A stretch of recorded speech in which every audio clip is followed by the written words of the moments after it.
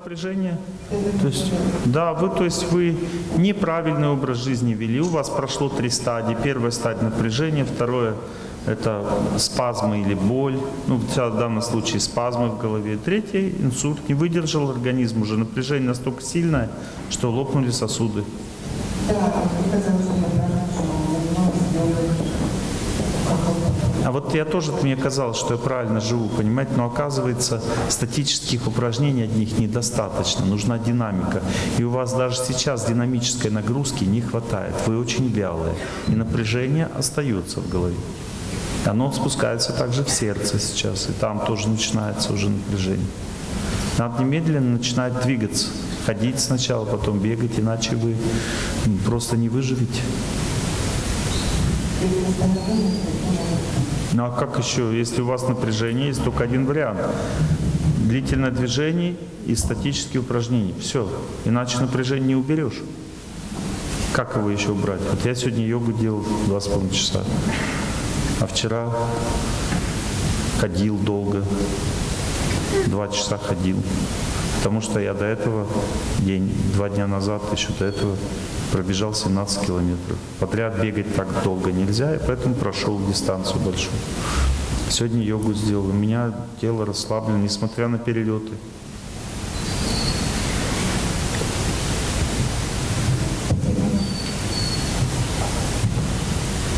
Правильная жизнь означает нет напряжения, нет давления, нет инсультов, нет. Это правильная жизнь. Все остальное неправильная жизнь. Я тоже думал, что правильно. Я йогу всю жизнь делаю, с 12 лет. Все равно напряжение копилось, пока я бегать не начал.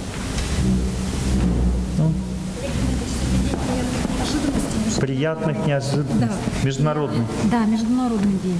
И я вот. хотела подарить вам небольшой такой символ нашего города. А, какие сказать. красивые у вас цветочки. Олег Геннадьевич, спасибо вам огромное, вам здоровья. Давайте и... их поставьте в вазочку. Вот, вот эти цветочки. И хотела сказать, что тут еще можно... Приезжайте к нам еще, там э, можно еще продолжать, продолжать. Да? Ставьте.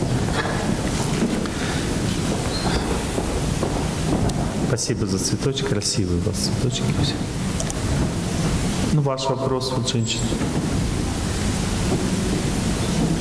Нет, на первом ряду, на первом. Да? Добрый вечер. Я хотела вас спросить. Мы живем в Петербурге, в Славянске. Купила себе маленькую а сейчас хотела купить квартиру.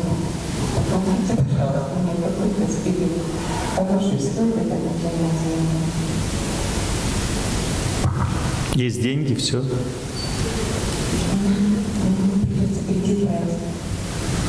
Нет, не советую. Живите в своей гостиночке. Не надо сейчас брать кредит. У вас плохой период. Вы будете сильно страдать от этого кредита. А сколько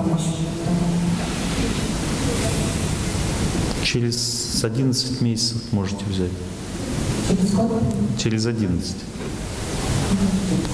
Ну, может быть, у вас даже будет возможность зарабатывать лучше в это время. Я не знаю. Ну, лучше будет ситуация, связанная с личной жизнью, ну, с жильем.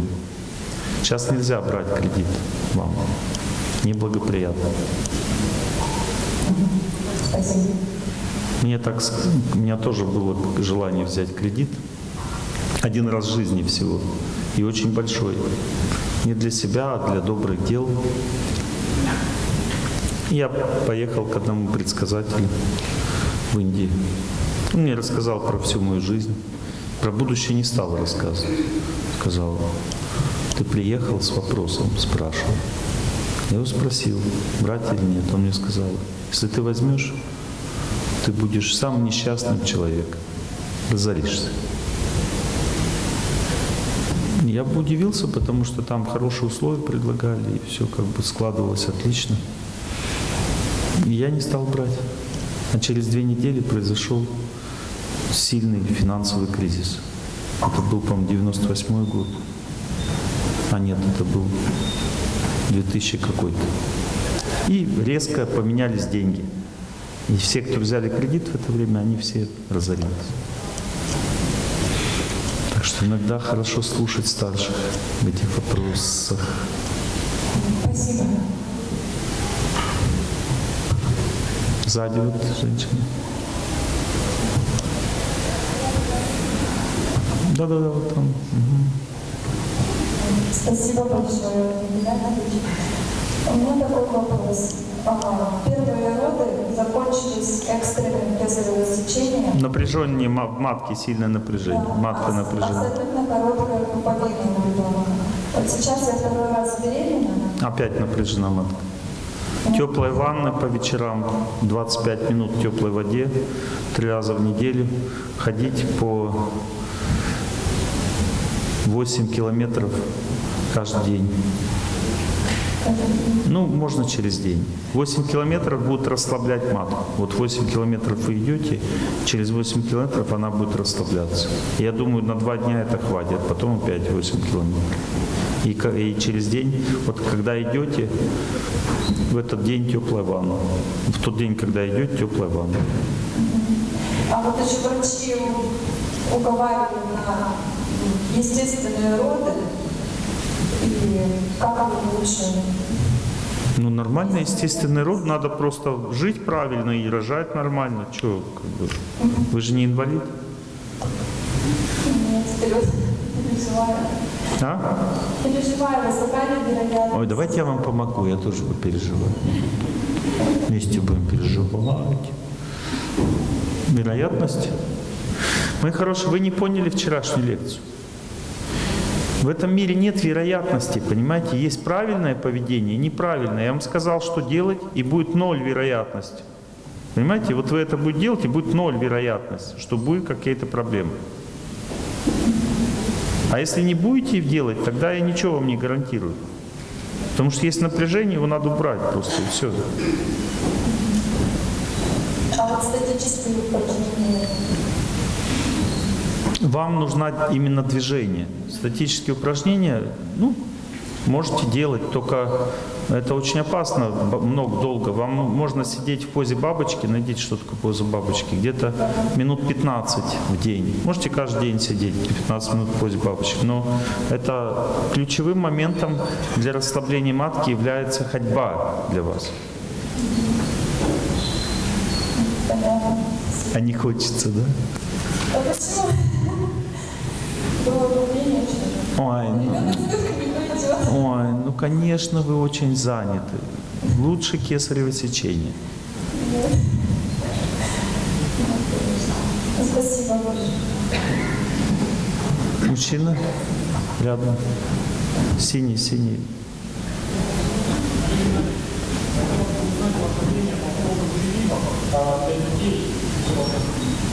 Мое мнение,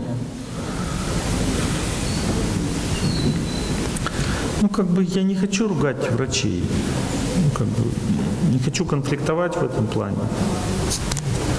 Но мое время, мнение не очень хорошее, потому что у меня есть опыт. Мой дядя погиб в зрелом возрасте того, что в детстве ему сделали прививку, он стал больным эпилепсией. Вот так вот, как у вас вот на лекции передо мной сейчас помню, сидели две женщины. Они сделали обе прививки своим детям, и оба ребенка заболели раком крови. Я не раз... Там они разные совершенно. Я не хочу даже об этом рассуждать. Вот. Одна девушка, одна женщина. Вообще уникальный совершенно случай в моей жизни. У нее был обездвижен ребенок. Она пробовала у меня его лечить, ничего не получилось. И она в Индии нашла необычных врачей. Они 12 часов читали молитвы, вот так по четырем сторонам света, четыре человека сели над ребенком.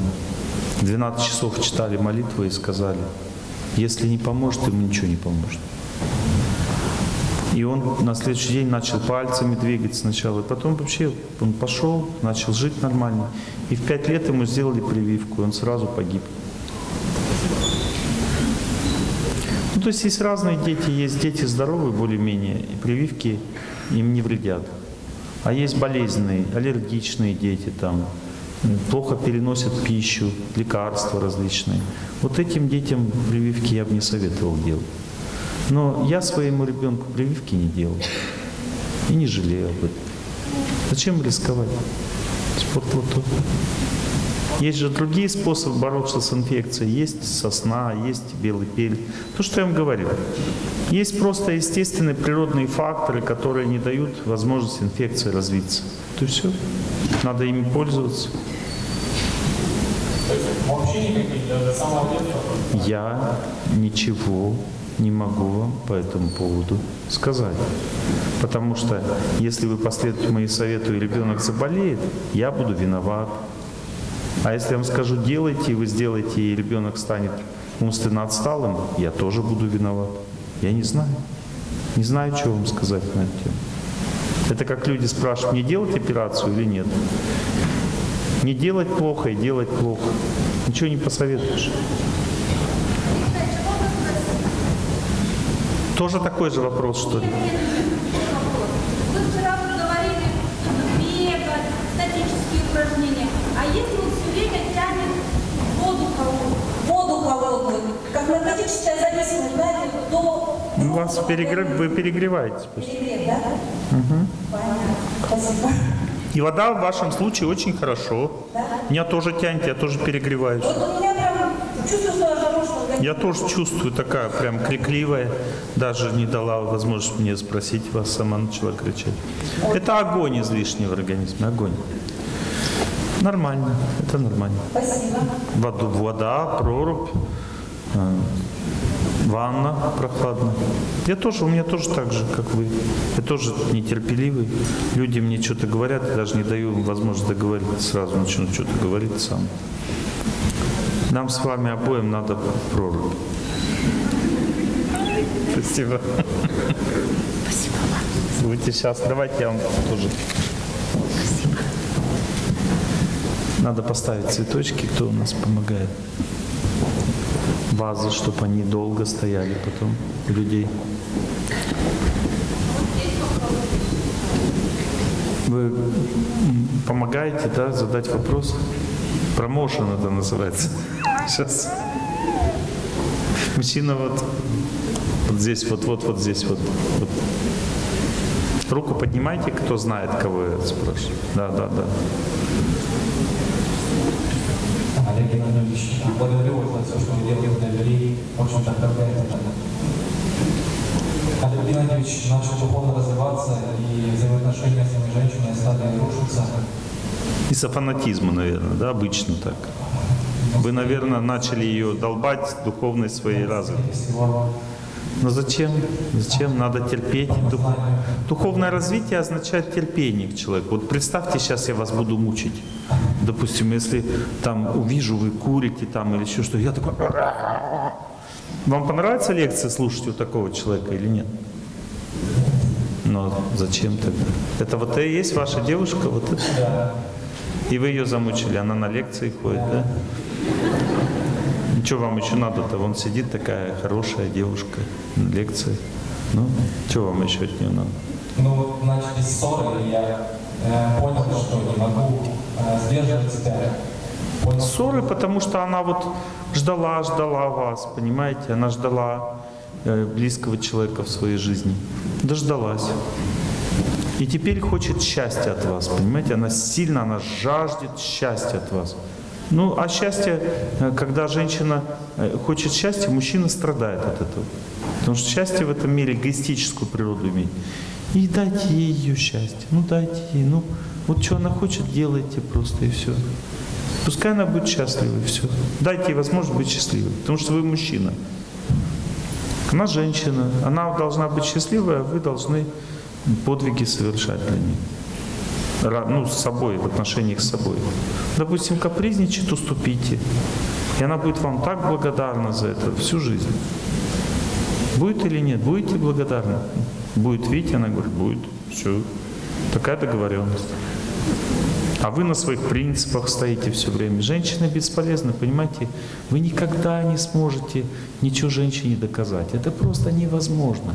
Или она сама вот по своей доброте внутренней воле примет вас, или ничего не сделаешь. Понимаете? Ну вот никто никогда женщине ничего не доказал. Это просто невозможно. Женщина более упертая, чем мужчина, во много раз упертее, чем мужчина. Это кажется, что они такие уступчивые, нежные. Это все внешне. А внутри женщина, она вообще просто несдвигаемая. Мы об этом будем говорить сегодня.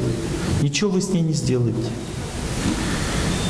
Я понял, что у меня недостаточно сил и знаний, чтобы вести себя правильно. Я Как- дистанцировался с ней вот до ваших лекций, вот прошло две недели, и пока м, наладились еще отношения, Ну что вы дистанцируетесь? Что она вам сделала? сильные ругани стали происходить. Так это ругань не только потому, что вы не уступаете, и все.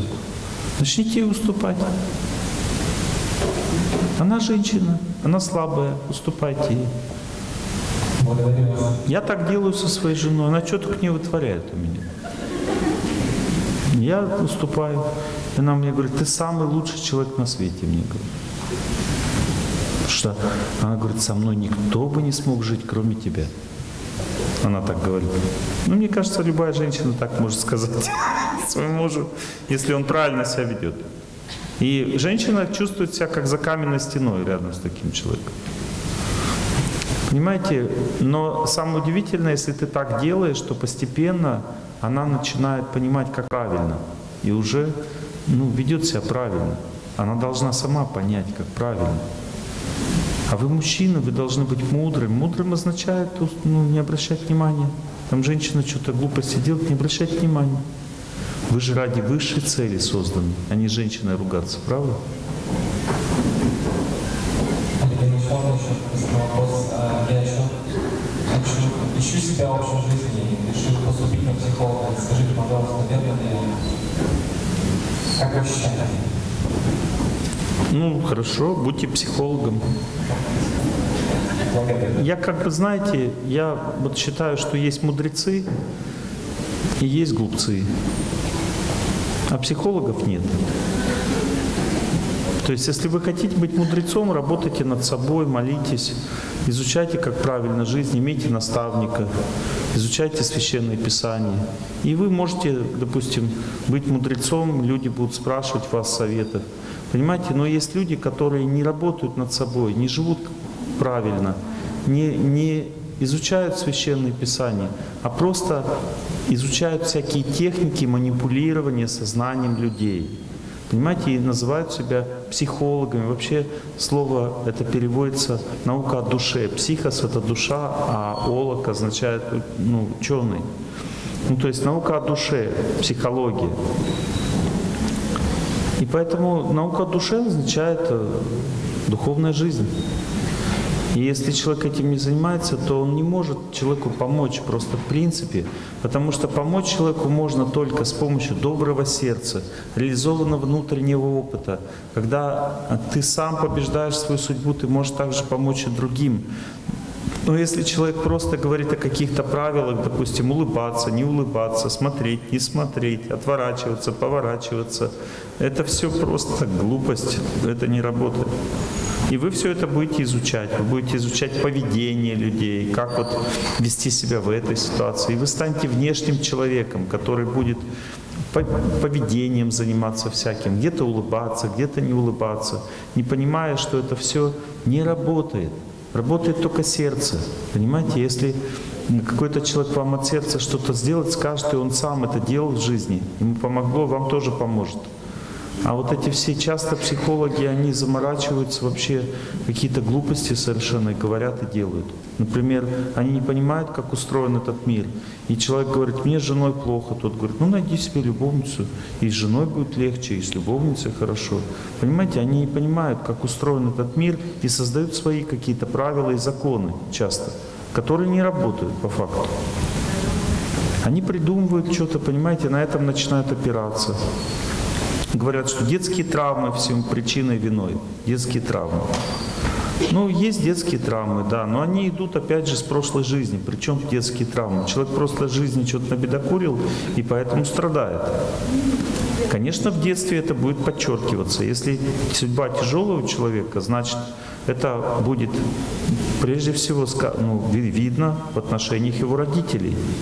То есть, если у родителей очень тяжело, это значит, ты уже с прошлой жизни так сильно бедокурил, что тебе Бог в этой жизни показывает, что у тебя тяжелая судьба. Это значит, родители будут ругаться между собой и так далее. Ты будешь страдать уже в детстве от семейной жизни, хотя сам еще не живешь этой жизнью. Это указывает на твою тяжелую судьбу в личной жизни. Все. И это называется у психологов детская травма. И кто виноват в этой детской травме, согласно этой философии? Родители, конечно. Они же сделали детскую травму. И их надо прощать, но сколько ты не прощай, если они виноваты, значит они виноваты. А виноват-то ты сам. У тебя с прошлой жизни это все тянется, и ты просто отрабатываешь свою карму. И если человек неправильно мыслит, у него неправильное мышление, как он сам себе может помочь? Он все равно будет думать, что родители виноваты, но я такой благородный, что им простил. Поэтому вы можете поступить на психолога, там диплом получить, чтобы иметь право с людьми общаться. Но по факту, э, если вы хотите помогать людям, то надо заниматься духовной практикой, иметь наставника и уметь видеть мир глазами священных писаний. Анна Геннадьевич, вы наставника э, нужно начинать с близких, да, э, с взрослых людей. Смысле?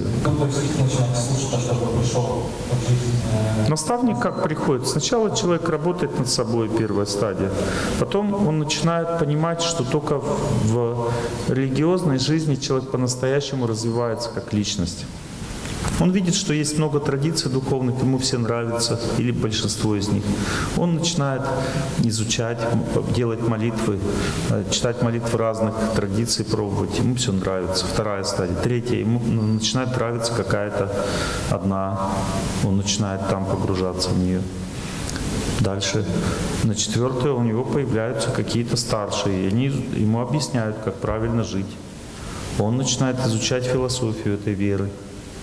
На следующей стадии у него появляется а, даже не наставник, как старший брат, то есть который ведет его за собой. А когда появляется наставник, это когда человек становится настолько сильным, что он готов следовать слову старшего. Это очень сложно. Это надо быть очень разумным человеком. И в этот момент Бог дает наставника сразу, потому что все, что мы можем переварить, Бог дает нам сразу. Вот, допустим, если женщина может переварить мужа, она сразу получает мужа. Почему она не одна? Потому что она не может с мужчинами как бы справиться. Поэтому одна. Как только она может, нет наказания, и она может правильно себя вести с мужчиной, сразу Бог дает мужа. Он никогда не ждет. И наставник тоже приходит, когда человек достоин. Но настоящий наставник может быть у человека только если он выбрал себе уже веру. Потому что есть много наставников, так называемых, которых нет никакой веры. И у них у самих нет тоже наставников. Они просто все сочиняют. Понимаете, если человек хочет быть наставником, у него тоже должен быть наставник. Иначе это просто сочинитель, понимаете, он что-то придумывает сам. Настоящее знание проверяется веками, а не просто на опыте одного человека. Благодарю вас. Сзади вот девушка. Вот, вот повернитесь назад, вот светлые волосы. Спасибо, будьте счастливы. Спасибо вам большое. Олег Геннадьевич, добрый вечер. Благодарю вас за все, что вы делаете для нас. В течение года слушаю ваши лекции. Очень хорошие результаты по работе в отношении с мужем. Но на ответ вы меня совершенно даже переход в голову. Ну ничего страшного, не надо сейчас сильно переживать. Ну вот я сейчас мужем нет. Надо просто двигаться, у вас застой там в малом тазу, то есть застой, нарушение гормональных функций, аборт тоже повлиял, но не так, что типа у вас вообще не будет детей. То есть надо просто начать выполнять мои рекомендации. Можно, если чувствуете, что бои- боитесь, что не сможете сами, ну, поставьте семена в уши. Это сильно тоже помогает. Но без вашего усилия, естественно, ничего не получится.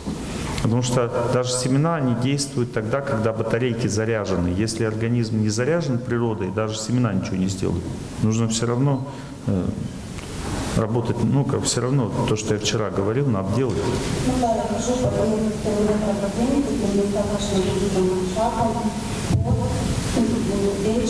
ну. Вот это вот когда так Да, да, конечно.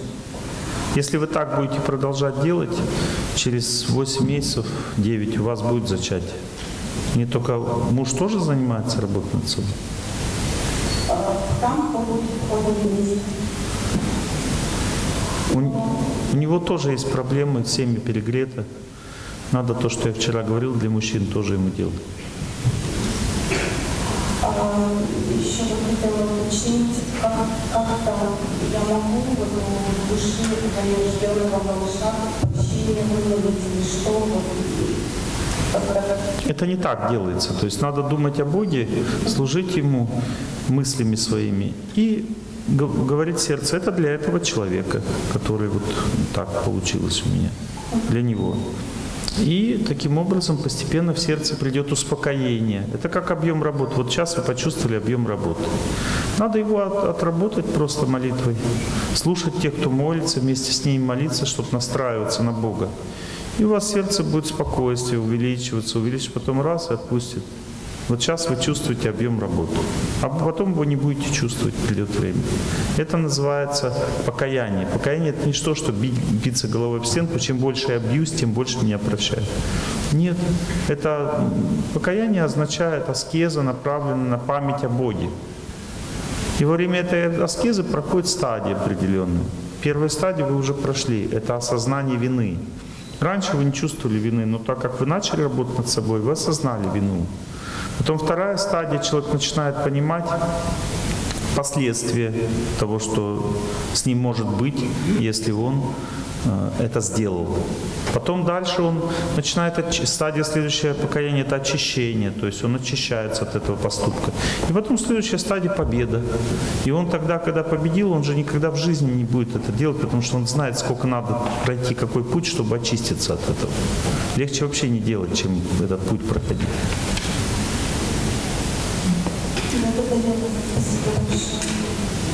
Будьте счастливы. Я уверен, что у вас все будет хорошо с ребенком. Съездите в святое место, еще вам это поможет.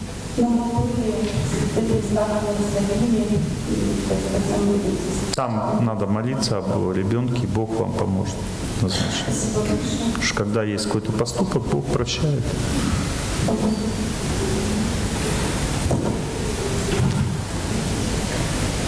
Ну вот сзади женщина вот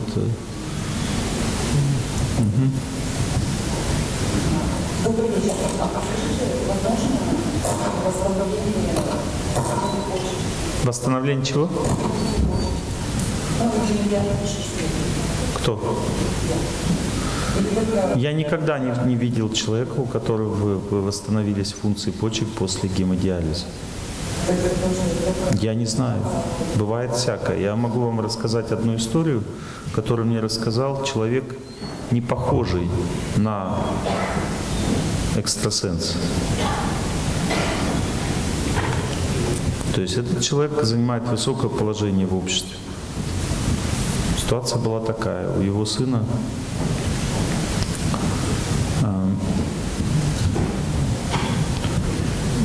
была опухоль почки, которая разрушила почку полностью. Вот. И он нашел одну женщину, которая молитвами восстановила почку. Я не знаю, как это произошло, но она вырастила ему почку. Не за секунду, но она молилась, молилась, и она опухоль была уничтожена молитвой, а почка восстановилась. Сделали снимок, и вот есть снимки. Один снимок почки нет, и там опухоль, а другой снимок почка есть, и опухоли нет. Это один раз в жизни я с таким столкнулся. И человек, который ну, дает себе отчет, мне это рассказал. Это не то, что там какой-то фантазер или там какой-то экстрасенс, вот, а человек, который имеет высокое достаточно положение в обществе, серьезный лидер. Ну, как бы я не знаю, как бы вот я никогда не встречал такого, чтобы можно было решить эту проблему. Но вот такой случай я встречал. Молитва всегда это главное. В любом случае нужно делать то, что вот я порекомендовал. Движение, статические упражнения. Но как бы в вашем случае аккуратно очень, потому что я, у меня нет глубокого анализа, ну вот, как это все работает при гемодиализе, понимаете? У меня нет таких, такого опыта, поэтому я не могу вам ничего сказать. Есть терминальное состояние организма, это злокачественная опухоль четвертой степени, там, на гемодиализе. А? Гемодиализ – это терминальная стадия болезни почек. У каждого человека так. Есть опухоли злокачественные, есть э, ну, зависимые гормонально люди. Это все как бы последняя стадия болезни. И на этой стадии лечение уже имеет свои законы, которые никто не может прогнозировать. То есть я, например, не могу сказать, как человеку на четвертой стадии опухоли а, заниматься спортом или здоровым образом жизни. То есть я могу только сказать то, что я видел в жизни, но это вас не касается, вот вашей болезни. У меня был один знакомый, который пытался сам лечить рак. Но, во-первых, он не хотел долго соглашаться с тем, что у него злокачественная опухоль. Я ему поставил диагноз этот, просто при встрече сказал, что надо срочно обследоваться, потому что симптомы, которые он мне сказал, были похожи на злокачественную опухоль. Я потом ее почувствовал у него в организме. Я никогда не уверен в этих своих ощущениях, поэтому я ему сказал, надо уже срочно обследоваться. И он обследовался, и там нашли просто в печени какие-то образования. Он, он посчитал, что это кисты, а я сказал, что это злокачественная опухоль. Я был настаивал на этом. Прошел год, он не лечился никак. Начал, вот, кстати, он поехал лечиться, очищение организма делал. Думал, что вот его как бы обманули. То есть часто вот эти вот э, нетрадиционная медицина обманывает людей в этом плане. То есть у него были ну, кисты, вот эти, как он считал, на самом деле была злокачественная опухоль. И он э, пошел лечиться, начал очищать организм, прочищание, промывание кишечника, печени. А это безумие в этом случае неправильное мышление просто. И потерял время фактически. Потом у него пошли метастазы в организме. И он применил такую тактику, которую применял его отец. Он действительно, его отец вылечился от рака. Тактика такая была. Он длительно ходил, долго ходил, и совершал такой пост, совершенно такой страшный пост. То есть он сутки насухо постился, потом выходил из поста. Потом двое суток насухо постился, двое суток выходил из поста. Потом трое суток насухо постился, трое суток выходил из поста. Потом опять двое, два, один, и вот так все время он жил вот такими этими циклами. И каждый день он длительно двигался. Вот. Через где-то полгода такой практики у него рассосались все метастазы и остались опять в печени то, что было с самого начала. Он пришел ко мне и говорит, я хочу до пяти суток цикл довести. Я ему сказал, ни в коем случае этого делать нельзя, потому что ваш организм не справится, вы погибнете. Он не стал меня слушать, просто выслушал и ушел. На первом же цикле пятисуточном у него срыв произошел, организм не выдержал, появились множественные метастазы по всему организму, опухоль стала сильнее человека. Вот, и он через две недели погиб после этого. А так вылечивался фактически от этой болезни. Но я все равно даже этого не советую. Я советую, если есть злокачественная опухоль, надо просто ее удалить, а потом дальше длительное движение и пост на воде. Все. И эта гарантия уже будет. Ну, соответственно, не помешают все эти обычные вот, классические методы цитостатики. Там. Вот все, кто таким путем идет, они все мои знакомые, они очень хорошо себя чувствуют. Сочетание традиционной медицины и здоровый образ жизни, лечение злокачественных опухолей дает колоссальный результат, очень хороший. Ну и, соответственно, все, у кого злокачественные опухоли, надо немедленно бросить курить и есть мясо. Иначе невозможно вылечить. Опухоль питается вот этим никотином и мясом. Питается злокачественной опухоль. Это ее пища. Ну, что касается гемодиализа, я не знаю, что вам сказать. Продолжайте жить, как живете, старайтесь здоровый образ жизни соблюдать, питание правильное. Самая лучшая пища на земле, которая меньше всего а, человеку портит жизнь, это зелень. Вот это я могу точно вам посоветовать. Если вы будете одну зелень есть, тушеную, э, свежую, то это будет колоссальной поддержкой для вашей судьбы. Колоссальной поддержкой. А когда вот, есть больше мяса, ну. А вот зелень тоже это белковая пища, чтобы вы знали. Это такой концентрированный белок. Любая зелень это сильная белковая пища. Это не углеводы, зелень не углеводы. Углеводы это кабачки, патиссоны, тыква. А, Все плоды это углеводы, а вот зелень это не углеводы, это белки. Ну, попробуйте, начинайте аккуратненько, попробуйте чуть-чуть, сделайте 10%, потом 20%, наблюдайте за собой. Никаких резких движений. Хорошо? Можете попробовать семена поставить. У нас есть опыт э, сильного воздействия на вот нарушенные функции органы с помощью семян. Не, конечно, не в такой степени, но вот при, когда у человека вот начался сахарный диабет, допустим, и инсулин он еще не колет, очень хорошие результаты у нас с такими.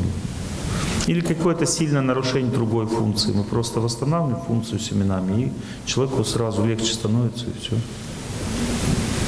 А вот в таких случаях, как, ну, можно попробовать, я не знаю. Какие мои хорошие. Это все равно, что, вот, знаете, человеку, человек, девушка хочет замуж выйти, и ее спросить, а кто у тебя будет мужем? Она не знаю. Это все подбирается индивидуально. У нас есть в распоряжении 3000 семян. Из них какие-то вам подойдут для того, чтобы влиять непосредственно на функции почек.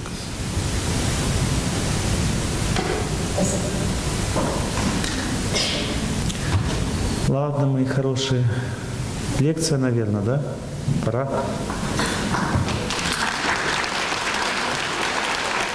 Вы вчера, кстати, не устали, было столько информации всякой. Вы, если вам это нужно, то, что вы вчера послушали, послушайте еще несколько раз, вы там все усвоите тогда.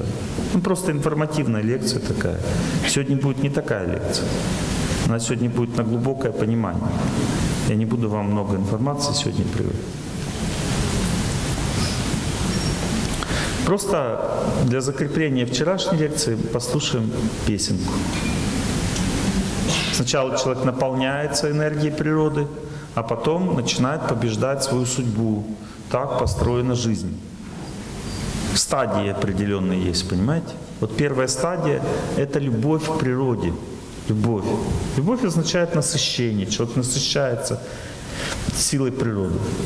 Жизнерадостность означает насыщенный человек, жизнерадостный.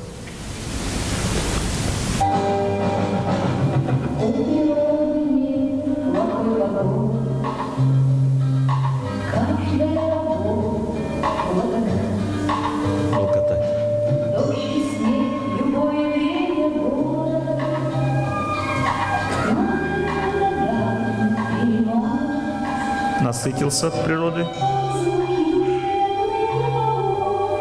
Душевная непогода еще есть.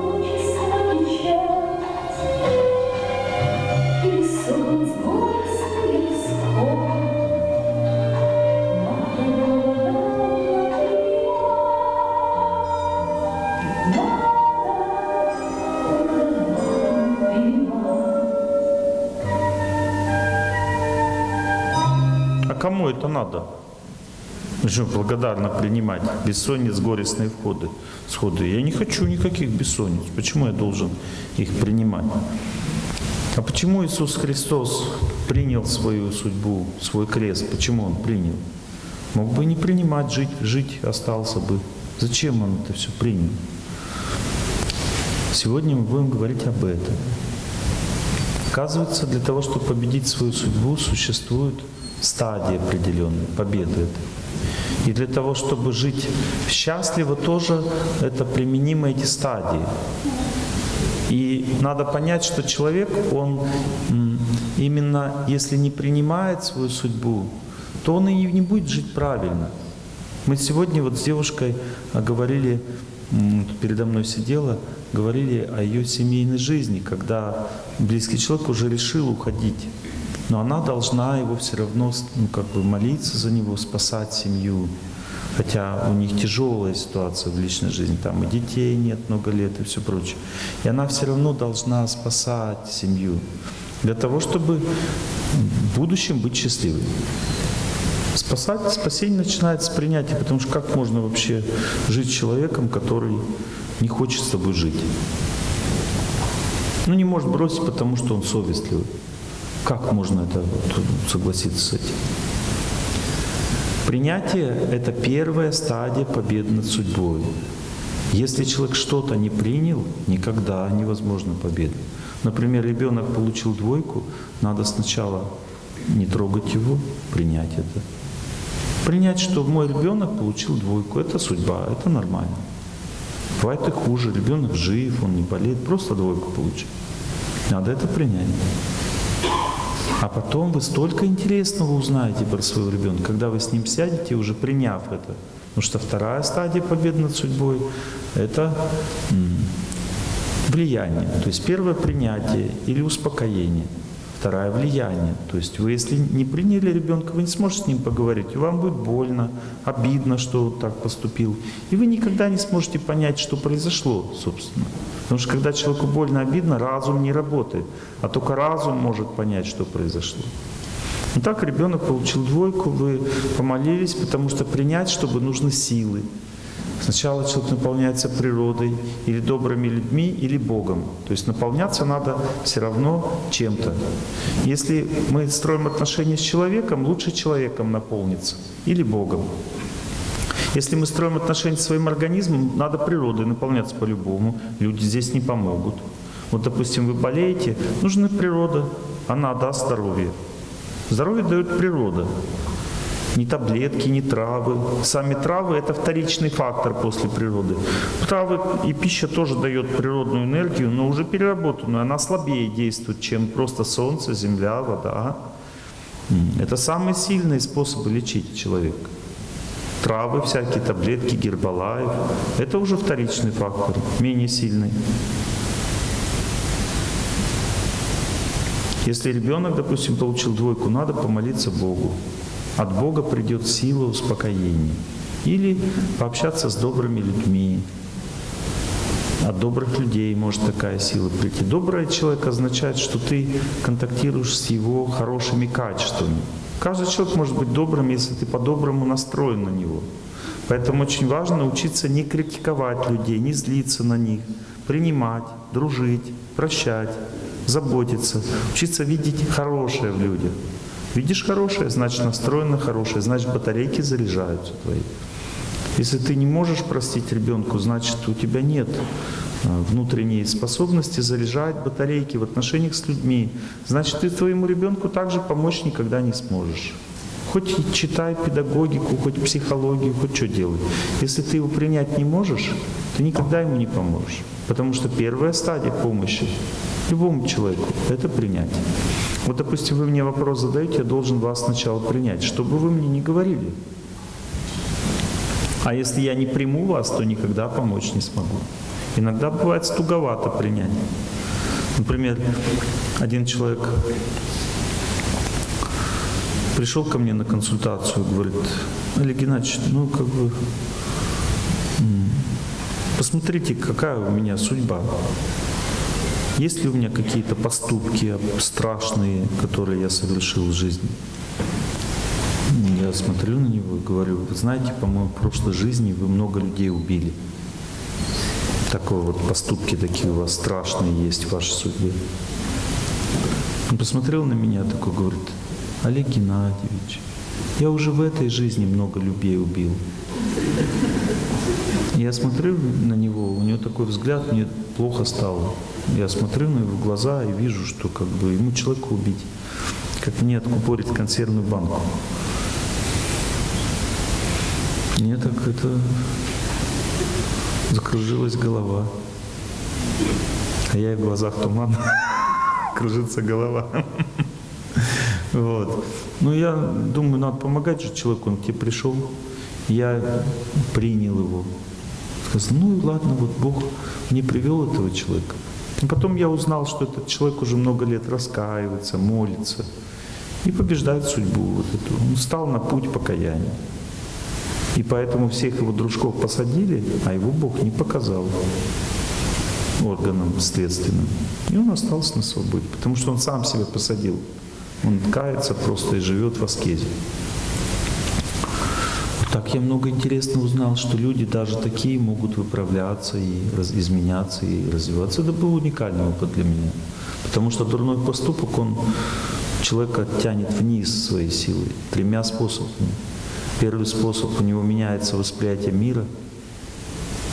Девочка, допустим, была чистая, девственная, и ее заманили в компанию плохую. И там групповым сексом она позанималась, после этого у нее поменяется восприятие мира. Она будет думать, что это нормально так жить.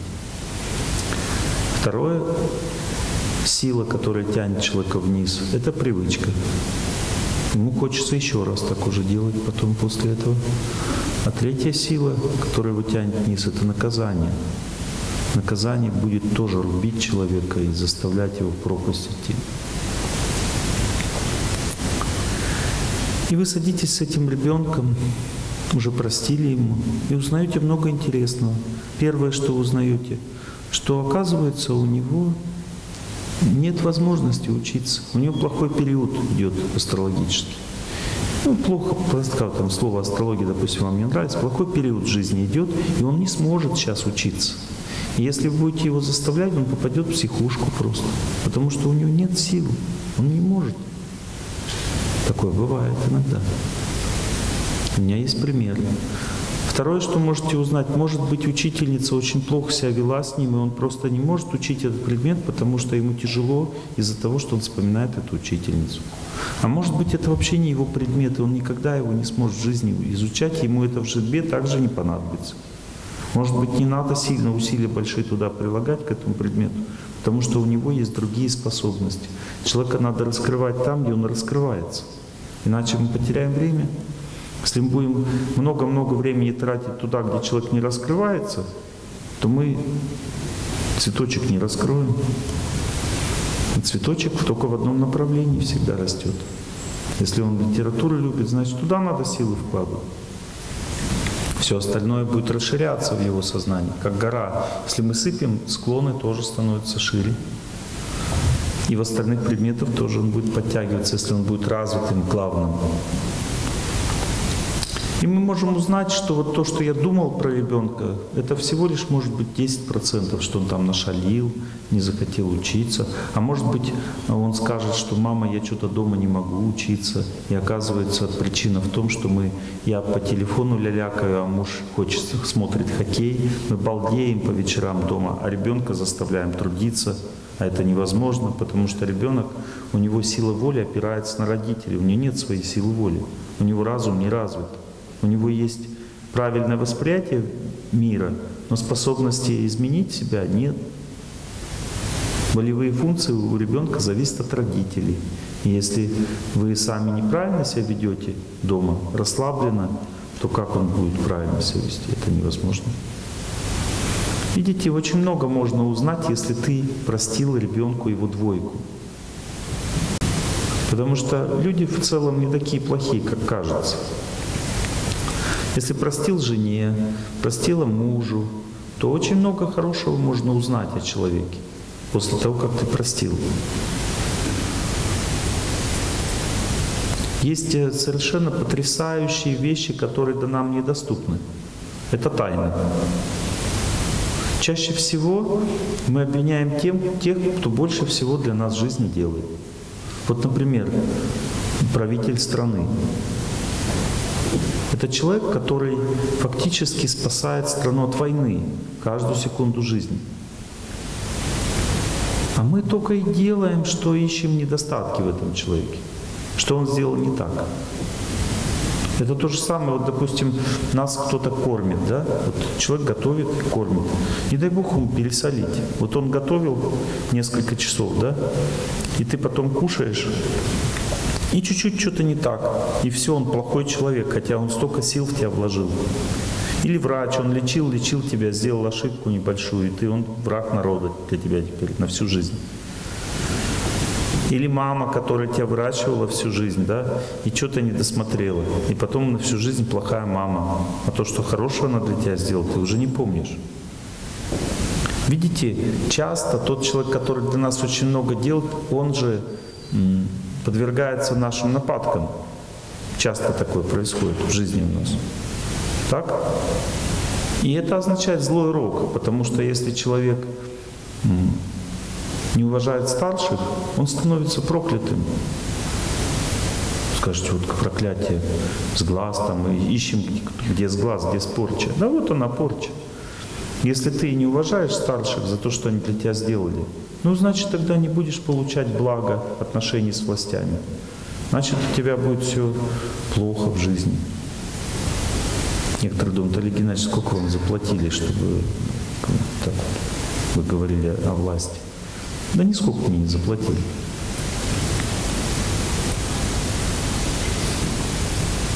Я вам говорю то, что надо, то, что помогает жизни. Или мать, отец, допустим. Вот смотрите, допустим, вы не уважаете мать, энергии любви в ваше сердце не придет. Вы, допустим, думаете, почему я не могу влюбиться? Почему меня не любят? Почему у меня в жизни нет любви? А потому что энергия любви идет через мать. Если ты мать не любишь, она к тебе в сердце не зайдет. Потому что путь любви в сердце человека идет через мать. Все это знают. Ты закрыл дорогу любви просто, ты прикрыл, ну, при, прикрыл возможности. Все, значит, нет любви у тебя в жизни. А если ты не уважаешь отца, тогда у тебя не будет отношений уважения со старшими. В социуме ты не будешь развиваться как личность. Потому что путь к уважению к людям идет через отца. Видите, мы много чего не знаем. Но все эти вещи означают принятие, потому что ты живешь рядом с отцом, с матерью, ведь много событий всяких происходит. Через них действует твоя судьба. И судьба — это тяжелая штука, она больно делает. Когда при- приходит боль, человек не может принять, ему плохо. Но надо иметь знания. Допустим, большинство людей думают, «Ну, родители мне испортили жизнь. Ну, Вам никто не портил жизнь. То, что они с вами сделали, это ваша судьба. Это так положено было для вас с самого рождения. А вот если они старались, чтобы вы не получили свою судьбу, хоть и сильно к этому шло все, но они старались и спасли вас от чего-то, то это не судьба, это их милость. Видите, то есть родители ничего плохого сделать не могут вообще нам. Или это действует судьба, или они нам делают хорошее, или не справляются с плохим. Не справились, это ну как бы наша проблема, это наша судьба. Таким образом, родители не во что, не в, не в чем обвинить. Точно так же, как и правители. Одного очень серьезного мудреца спросили,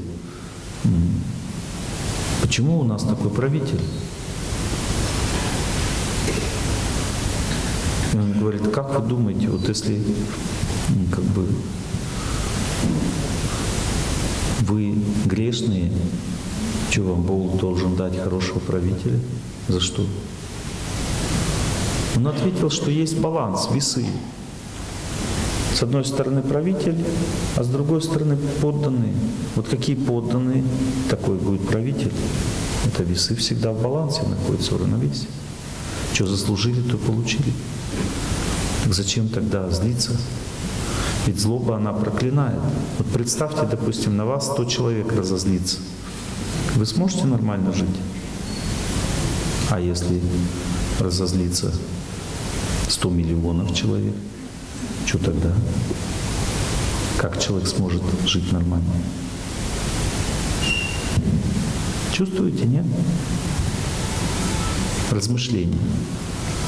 То есть кто такие удачливые люди? Удачливые люди — это те, которые могут принять судьбу, То есть они принимают все, что их окружает, старших, младших, равных, природу, о чем мы вчера говорили. У нас экология плохая здесь, в Красноярске. Почему плохая? Красивая река очень, холмы красивый, лес. Шикарная природа просто. А то, что вы в городе живете, это ваша судьба такая, вы так заслужили просто. Люди очень мягкие, добрые здесь, в Красноярске. Ну, я же езжу везде, знаю, какие разные люди бывают. Здесь очень деликатные люди, мягкие, добрые. Так ведь? А? Как? Где недобрый, не буду говорить, но есть такие места. Не хочу, потому что меня везде смотрят, слушают.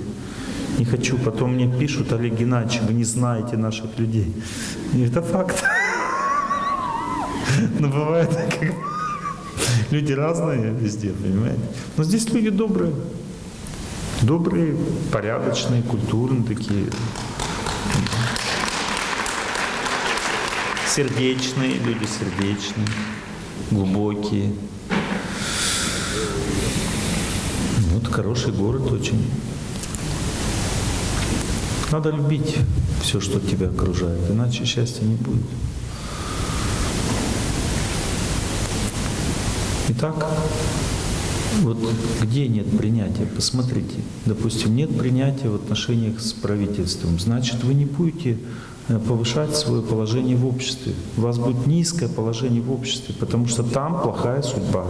Не любите правительство. Вчера женщина одна мне рассказывала, что у мужа раз, разрушился бизнес. Я говорю сразу, и потому что она не уважает старших. Она говорит, точно. А сейчас еще после этого еще больше стал не уважать. Значит, еще больше будет разрушаться.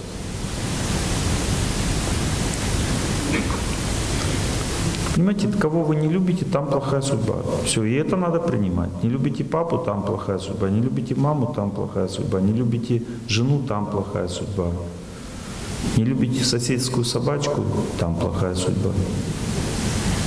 Значит, через то, что не любите, и получите себе укус. Так значит, надо принять. И тогда вы избавляетесь от этой, этой проблемы. По крайней мере, агрессии уже не будет с этой стороны. Примите начальство свое. Да, может быть, начальник греховный там какой-то, плохо себя ведет. Но вы примите, это ваша судьба. И потом он ничего с вами плохого уже не сможет сделать. Он будет нейтрализован вашей внутренней силой. И это значит, что вы удачливый человек. Что такое удача? Это труд. Надо просто, и Бог подсказывает, некоторые люди меня спрашивают, как увидеть опасность в своей жизни. Вот я сейчас вам рассказываю, как увидеть опасность. Просто посмотрите в свое сердце. И там, где у вас есть неприязнь к кому-то, там и опасность. Вот с этой стороны ваша плохая судьба идет. И имейте мужество принять Молиться, принять означает, вот смотрите, если говорить с языком энергии, вот просто механики, да, действия судьбы, энергии судьбы, то если что-то не нравится, плохо, больно, неприятно, все это означает нехватка энергии. Какой энергии? Энергии счастья, чистоты вот, в отношениях с этим. То есть там скопилась плохая энергия просто. Ну, то есть, и вам нужна хорошая для того, чтобы это переварить. Хорошая энергия откуда идет? От добрых людей, от Бога и от природы. Есть три, три источника энергии, которые Бог дает человеку в жизни для пополнения своего заряда судьбы. Это Бог сам или храм, где человек молится. С помощью этой энергии человек побеждает то, что непреодолимо. Непреодолимая болезнь, а, побеждает тюрьму, не может э, жениться, выйти замуж. То есть какое-то препятствие, не может квартиру себе купить. Препятствие в жизни сильное. Бог убирает препятствия. Теперь, следующий вид энергии Бога – это люди, добрые люди. Скажете, Олег Геннадьевич, нету вокруг добрых людей. Это не то, что их нет, просто вы не любите людей. Если бы вы любили людей, было бы куча добрых людей вокруг. Нет правильно, неправильно настроена антенка просто жизни. Неправильное восприятие людей. Что делают добрые люди? Добрые люди дают возможность быть сильным в социуме. Вот эта энергия, когда женщина, допустим, не может выйти замуж, что это значит?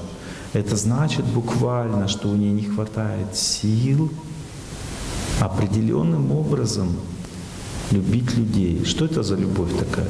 Это забота, ласка, внимание по отношению к людям. Это энергия, сила женского, женской психики, забота, ласка, внимание. Оно дает женщине особый вид красоты внутренней. Красота означает сила. Красота — это сила, которая заставляет мужчин взять замуж. Причем заставляют сразу много. Много сразу человек говорят, хочу тебя взять замуж. Не один, не два, а много сразу. Это означает сила. И она уже выбирает, вот этот такой, этот секой. Чем мне лучше? Высокий некрасивый или низкий красивый? А, успешный дурак или разумный неуспешный? Ну там не будет все сразу прямо супер-пупер, нужно выбирать. Вот и она выбирает, как ей легче, что она подходит ей, чем она лучше справится. Если есть сила. А сила берется от людей. Вот если она заботится обо всех, тогда она копит эту силу для замужества. А если сидит и мечтает дома одна, как ее психологи научили, визуализируй мужа сидит. Сидит и визуализирует. Какого же я хочу, блин, что-то не пойму. Такой раз визуализировала, вот такого хочу на белом коне принца. Такая визуализировала все, сидит и пыжится, визуализирует. Согласно ведическому знанию, в этом случае, если она мечтать начинает о ком-то, то она просто пользуется тем, что в жизни ей положено – но пользуется неправильно, на тонком плане. То есть она проживает то, что она должна была прожить в реальной жизни. То есть она мечты означает, что ты живешь тоже. Это жизнь. Но какая жизнь? Искусственная. Ты вместо естественной жизни живешь искусственную жизнь. И чем больше ты искусственной жизни живешь, тем больше мечтаешь, тем меньше будет естественной. То есть ты промечтала всю жизнь, и все. Ты все пела, это дело. Ну, теперь вот попляши на холоде. Понимаете, то есть нужно не мечтать, а идти и заботиться о людях. Люди будут отдавать тебе благодарностью в сердце за твою заботу, и эта благодарность будет заходить внутрь, и твоя батарейка силы женской, возможности выйти замуж будет копиться. То же самое, если у тебя, допустим, низкое положение в обществе, ты не можешь вот фирму свою поднять. Хорошо, учись уважать старших. Учись понимать, что те, кто стоят у власти, они поставлены Богом. Это Бог все, всем здесь в этом мире управляет через людей. Это Его руки, щупальца. Он всем руководит здесь. И Он выбрал почему-то этих людей.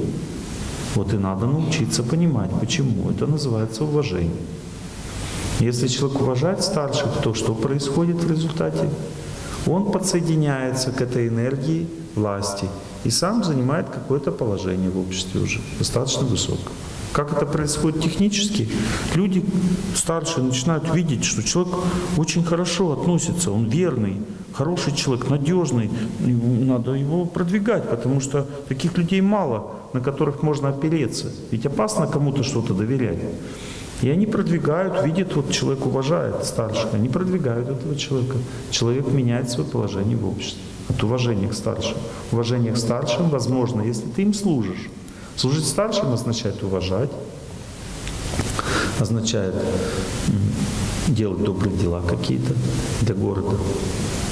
Пришел в администрацию, сказал, хочу делать добрые дела. А им надо старшим, потому что они отчеты пишут о добрых делах своих. Не ваших, а своих. Ну, это нормально. Какая разница? Бог знает, кто что сделал. И вы делаете добрые дела, и все думают, о, какой хороший человек. И потом, когда ему на стол бумага, что вашу фирму надо там, она плохо себя ведет, надо там разорить, посадить. А это вы, там, добрый человек вот этот как раз. Он, нет, нет, нет, нам этот человек нужен. Он у нас в районе делает много добрых дел. Ну, Отстаньте от него, не надо его проверять, все, он хороший человек. Защита. Старших приходит защита. Или вы, ой, что-то со мной все плохо. Не волнуйся, делай свои добрые дела, мы все наладим. Понимаете? Это Бог так действует. Не то, что вам повезло, у вас друг хороший появился. Нет, так Бог действует. Через старших. А если вы принимаете своего ребенка и по-доброму относитесь к нему, то тогда Бог вам даст счастье хорошего сына или хорошей дочери. Но для этого надо принять человека, вот какой он есть. Сначала счастья нет никакого. Вернее, есть, когда он еще совсем маленький. Он какает, писит, орет. Вот тогда просто, просто за то, что родители заботятся о ребенке, Бог дает счастье в сердце. Они чувствуют такое счастье от этого ребенка, что готовы что хочешь для него делать в это время. Потом он подрастает, уже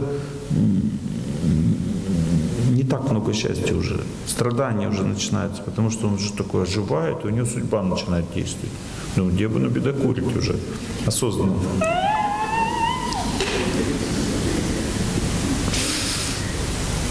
Девочка капризничает, ходит время, и все что-то не так. Мальчик ищет у нее набедокурить. Это действие судьбы. Шалит. Я в самолете летел, там напротив меня мама с мальчиком маленьким. Это полтора года. И он так ее задолбал. Он хочет, постоянно хотел вылезти по салону, проползти. Таким мощным шагом проползти по салону. И она уже не выдержала, уж за ноги его держит, потом подняла за ноги, короче. Он лезет все равно, а его за ноги держит. Судьба действует.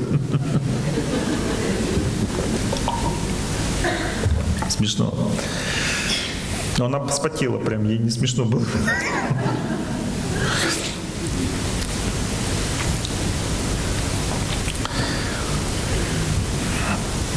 Но если принять ребенка, вот его судьбу принять, то в нем включается разум в этот момент. Ребенка принять, ты принимаешь его, как он есть, сразу же он начинает соображать. У него включается совесть после принятия, разум включается. И следующая стадия воздействия – это добрая речь называется, добрые слова. Добрые слова включают совесть и разум автоматически. Доброе означает непритязательный. То есть, если вы хотите близкому человеку помочь, знайте, что отношения с близким человеком намного ранимее, чем вам кажется. Ну, то есть, мож- можно смело умножать на 10, и вот настолько они более ранимые, чем мы понимаем. Отношения с близким человеком означает, говорить ему правду можно в 10 раз меньше только. То есть, если вы хотите ему что-то сказать, то скажите в 10 раз меньше, чем хотите. Я иногда своей жене вообще иносказательно что-то говорю. Потому что если скажу прямо, то все будет жесть.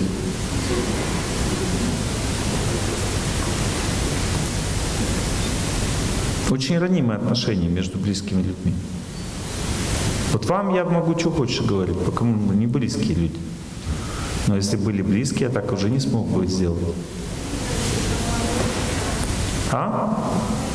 А я не обманываю. Я говорю правду. А? Кто врет? Принять надо. Принять надо. И сразу у нее совесть включится тут же. Когда человек врет, тонкая причина – это страх. Он врет, потому что страшно. Женщины же страшные существа. И замучают потом до последнего.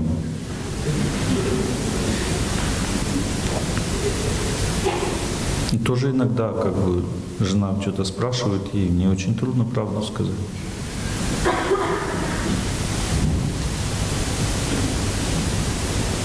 Она говорит, ты что, запачкал опять? Я говорю, нет.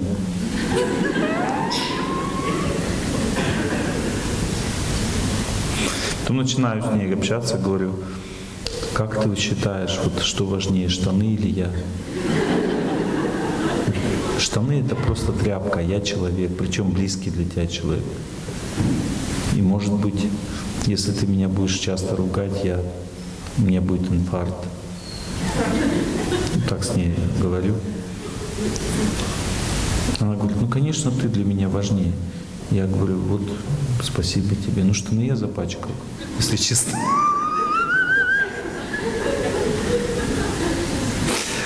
Она такая, ну расстраивается, конечно, уже не так, потому что муж же важнее, чем штаны. Идет процесс отношений, общения. С женой опасно вообще связываться, страшное дело.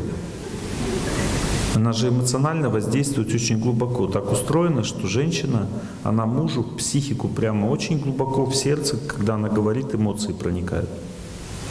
И от нее никак не защитишься. Вот она, если... Ты что? Штаны опять запачкал? Штаны. У меня там мысли как бы о спасении всего человечества, и в это время нечаянно запачкал штаны.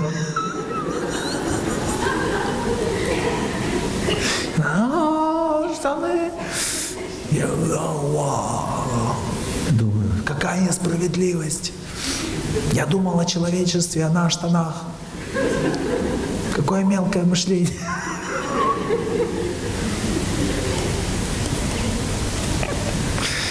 Нет, так нельзя. Нужно очень аккуратно, по-доброму принять. Вот судьба навалилась на тебя и опять мучает тебя через жену. А через кого мучить еще? Больше никого нет вокруг. У меня жена подходит и говорит, ты знаешь, у нас есть проблема семье. Я говорю, как обычно. Я говорю, и знаешь, кто в этом виноват? Я говорю, знаю. Она говорит, кто? Я говорю, я.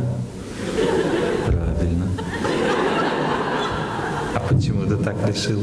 Я говорю, а потому что больше никого же нет вокруг, мы с тобой вдвоем живем.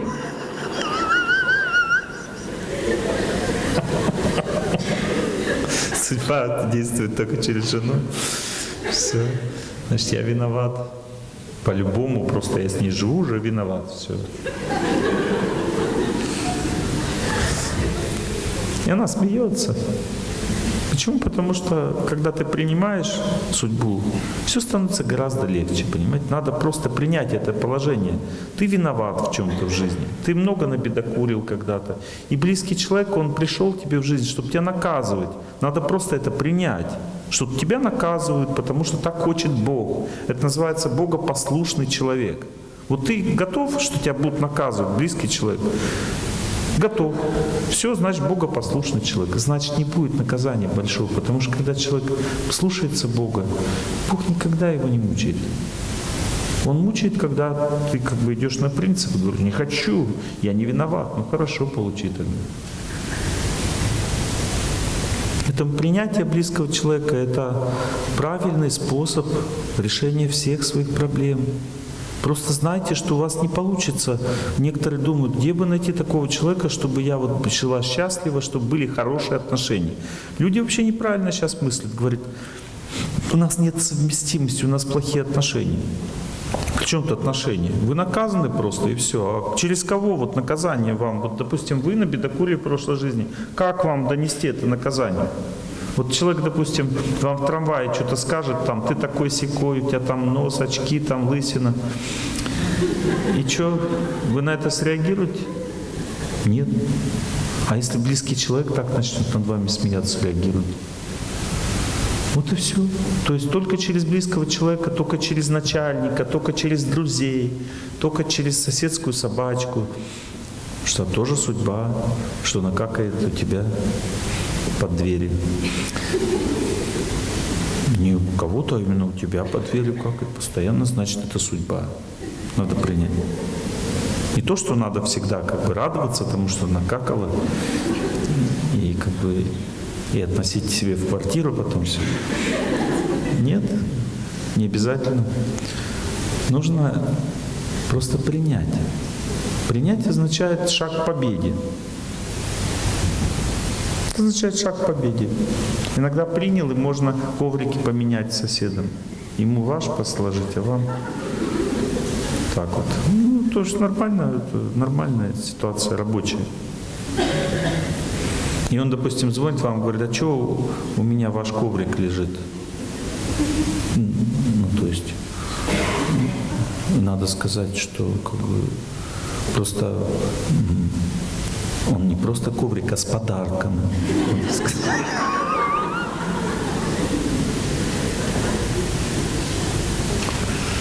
А подарок от кого по запаху вы должны знать. Ну, по-доброму, ласково. И он посмеется, и как бы все нормально. Запомните, отношения с близкими людьми должны быть в высшей степени ненавязчивыми и деликатными.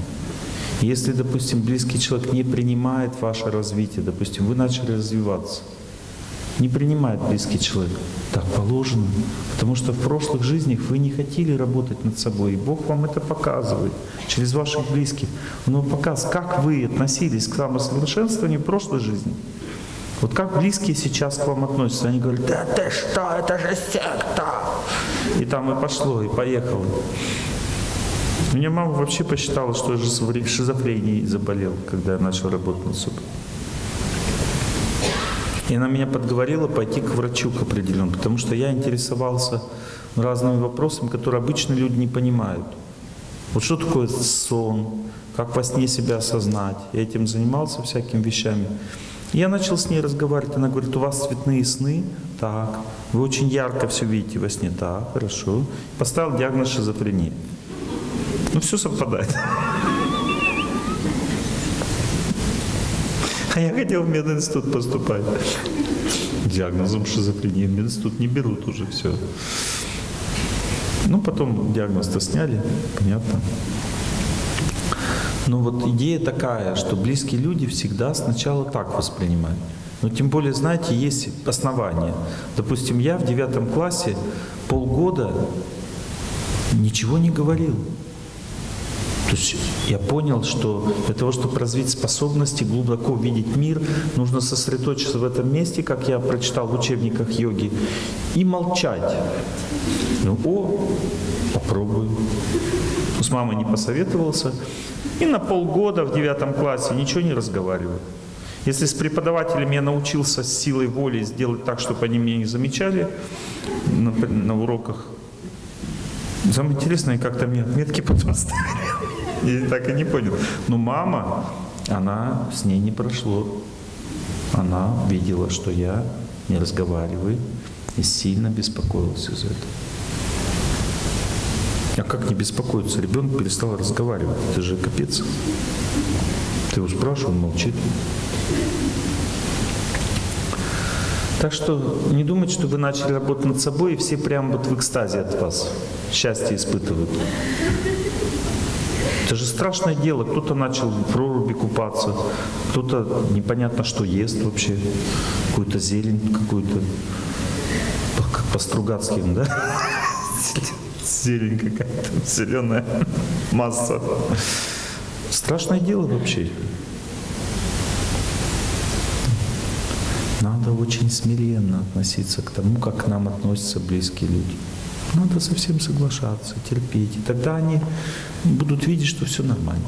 Потому что если вы начинаете доказывать с пеной у рта, что так лучше, что так правильно, это еще один признак, как бы, что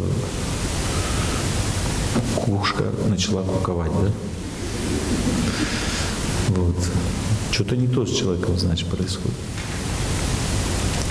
В целом, Веда объясняет, что есть три а, состояния разума, три типа состояния разума. И они меняются крайне сложно.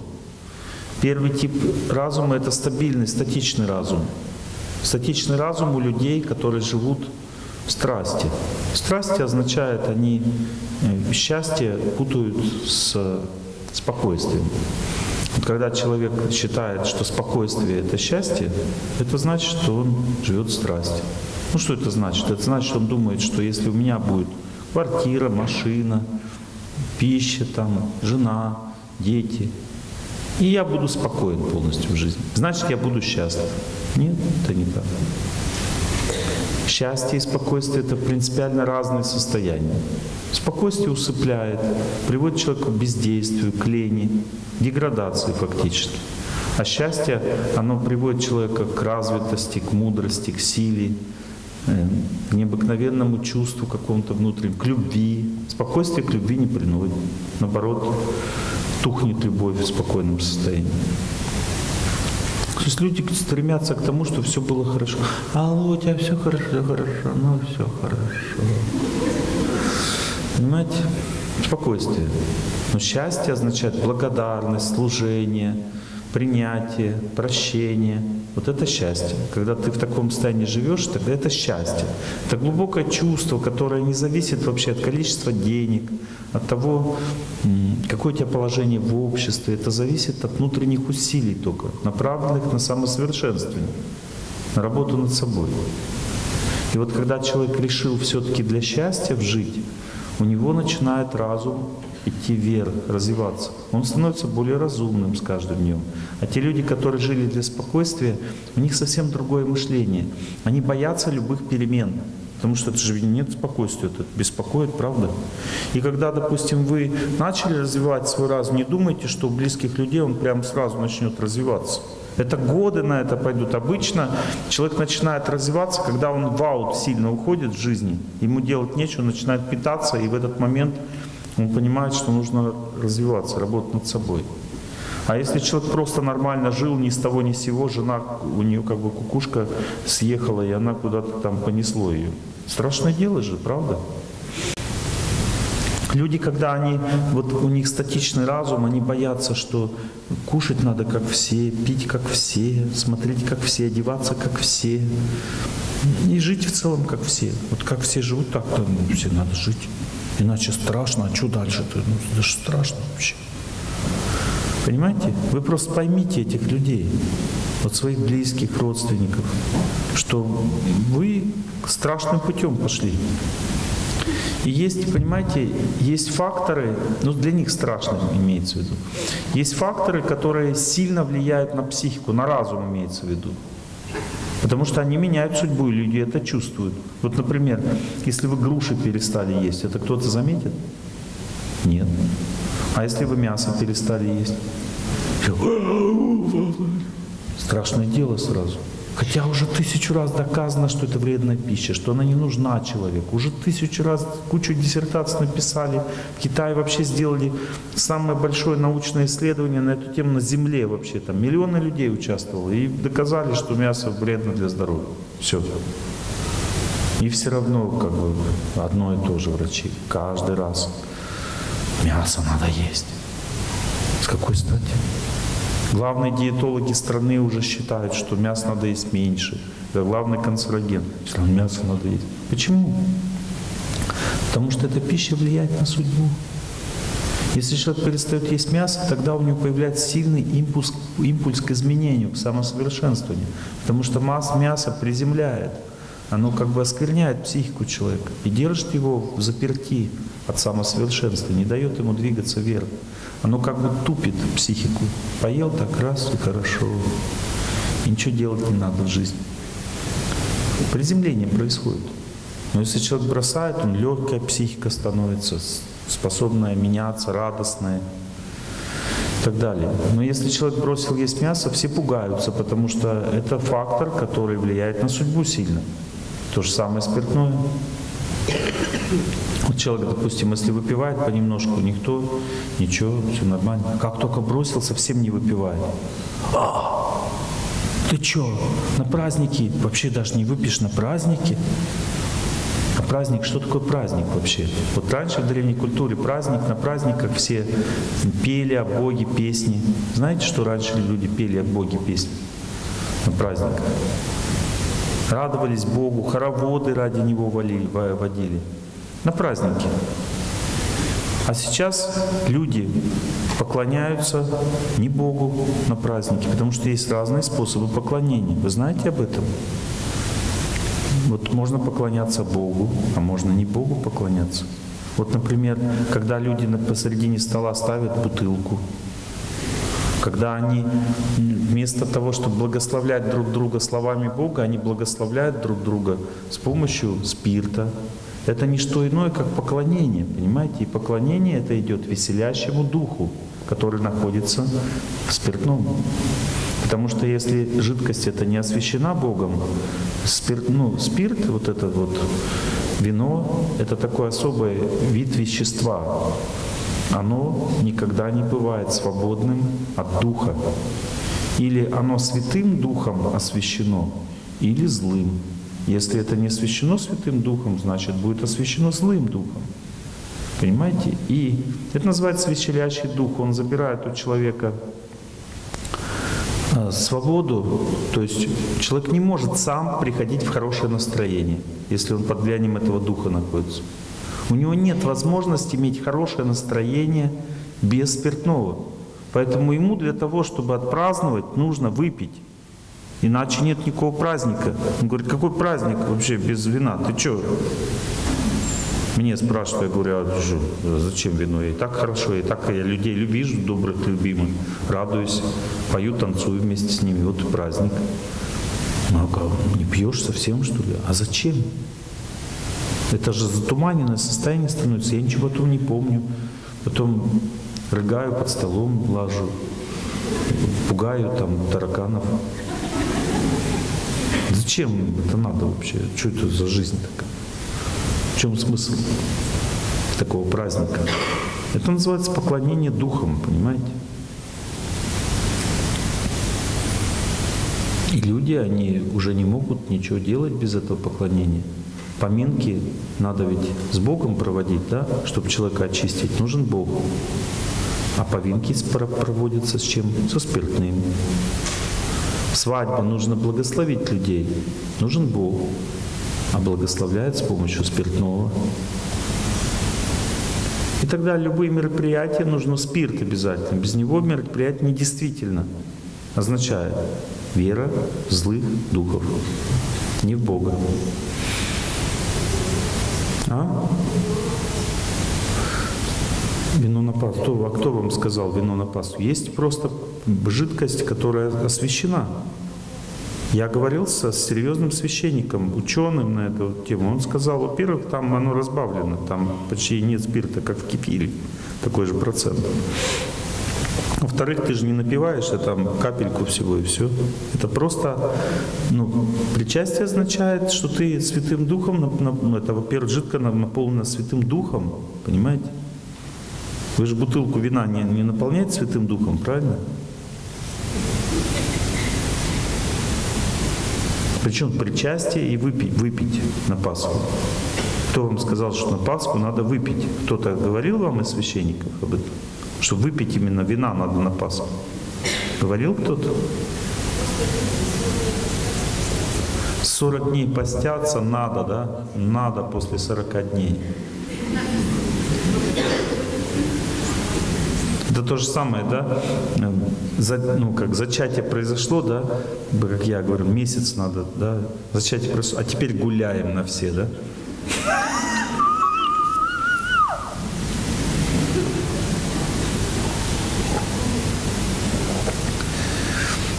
Что я могу сказать? Ну, как бы, пробуйте жить так, как вы считаете нужным. Результаты будут вашими. Я вам просто рассказываю, как надо. Человеку не нужна эта вообще жидкость в жизни. Я никогда в жизни не пил. Мои родственники за меня все выпили. Я насмотрелся, мне хватило.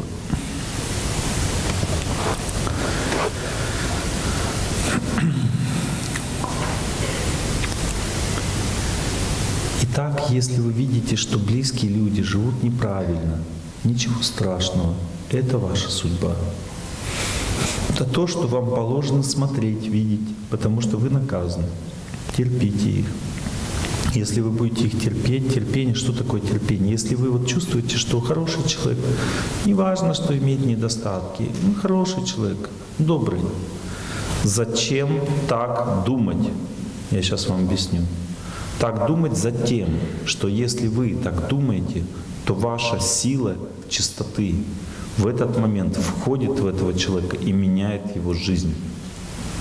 Вот если я, допустим, буду вас любить вот так вот, какие вы есть, такие есть, я к вам хорошо отношусь.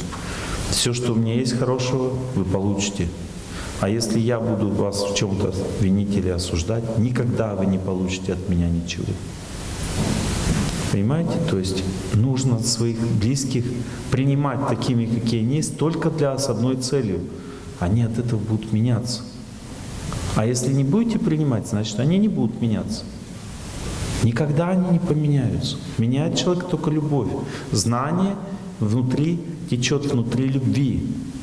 Есть река любви, и знание течет из вашего сердца внутри реки любви. Если нет любви, знания никогда человек не получит. Сначала любовь означает принятие, а потом знание уже. Любовь это не наслаждение человеком, это принятие человека. Можно наслаждаться человеком сколько хочешь, но его не принимать. Это не любовь. Это влюбленность, то есть ну, балдею от человека, но не принимаю. Любовь означает принятие. Вот примите свою девушку. Это любовь. А если вы не принимаете, это не любовь.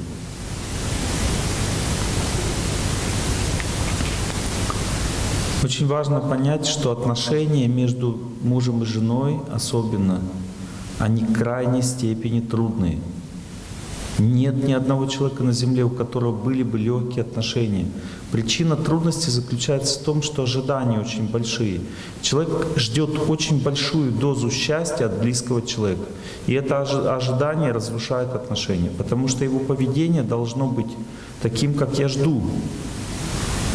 А это означает, что очень трудно ему так себя вести, чтобы я не пришел в беспокойство. Девушка ждала парня, она ждала его вместе с счастьем. Она не ждала его просто одного. Она вместе с счастьем, она, у нее были ожидания от него. Она ждала его вместе с счастьем со своим. Он пришел в мою жизнь, а счастье не хочет давать. Это очень обидно. И девушки поэтому они капризничают с парнями, постоянно капризничают, ты что такое? А он думает, что она вообще от меня хочет? Что она ко мне пристала? И он так обижается сильно. Она хочет счастья, она его ждала через тебя. Ты пришел, а счастья не даешь. В чем дело? Так девушки настроены. То же самое парни. Они как бы они настроены, что девушка, вот а я, которую люблю, она должна вот так вот, она должна постоянно кивать, мне бегать передо мной, служить, готовить, заботиться. Так вот она вот такая, он думает. Она в раз забыла ему приготовить вообще. Ну, забыла, потому что не подружки там были, она сильно увлеклась и забыла. Не то, что она специально забыла. Просто так получилось у нее. Она сама по себе женщина увлекающаяся такой. Она увлеклась, увлеклась и забыла приготовить. Он такой, вставай, страна огромная. Такое вообще как бы предательство. Ты предала меня вообще, предала. Потому что я хотел всю жизнь, чтобы мне жена готовила. Я про себя говорю. У меня такая тема. Я хотел чтобы всю жизнь, чтобы жена готовила. Почему? Потому что у меня мама так готовила. Она у меня занимала, э, сейчас похвалюсь, восемь раз участвовала в конкурсе поваров а, по району своему, где жила. И шесть раз заняла первое место и два вторые. Вот так она готовила, представляете? А жена у меня тоже очень вкусно готовит, очень вкусно готовит, но готовить не любит. И это просто как нож в горло готовит просто. Я сначала так страдал, думаю, как же так, какая несправедливость вообще. А потом понял, что надо принять, это моя судьба. Когда я принял, она так старается, старается, хотя все равно не любит. Понимаете? Я просто вам сейчас рассказываю настройки. Я пытаюсь вам сделать настройки на семейную жизнь правильные. Если эти настройки будут правильны, все остальное у вас получится. Первое, что надо понять, что через близкого человека вас мучает Бог, а больше не через кого мучить. Никто больше не может вам это дать, то, что Бог хочет вам передать. И поэтому надо принимать. Каждый человек рожден для наказания в этом мире. Мы все бедокурили в прошлом, и за это должны отвечать. Здесь не место для наслаждения. Наслаждение это там в раю. Там нет, там тот, кто уже отбедокурился, отстрадал, он туда полетел, в рай. А здесь мы должны мучиться и испытывать счастье также. Ну, то есть здесь поровну счастье и страдания на земле. Примерно поровну. Кто правильно живет. Неправильно одни страдания.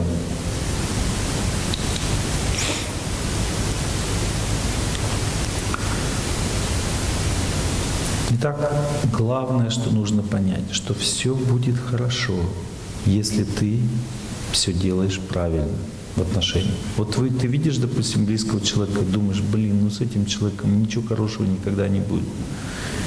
Не верьте этим мыслям, это неправильные мысли.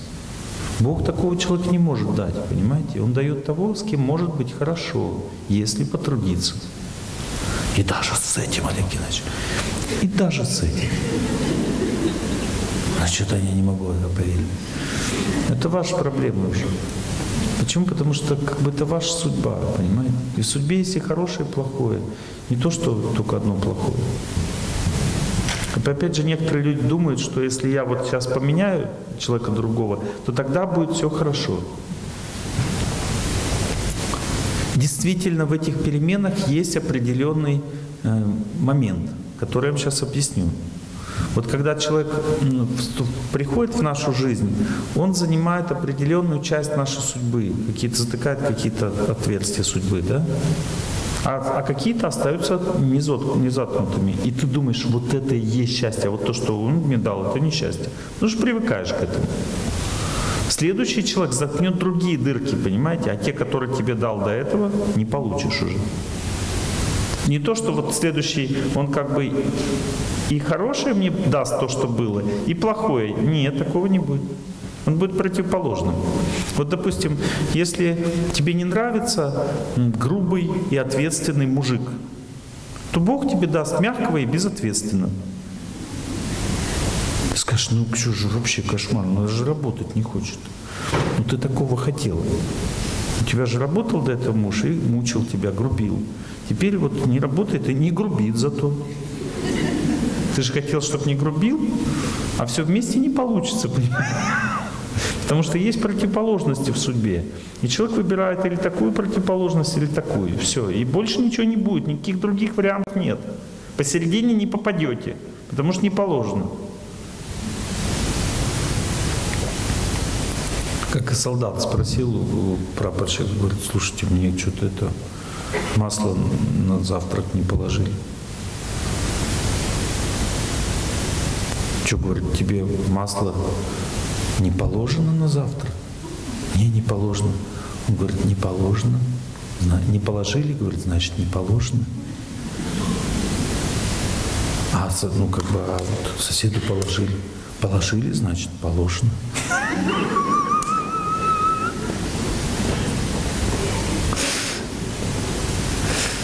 Примерно так.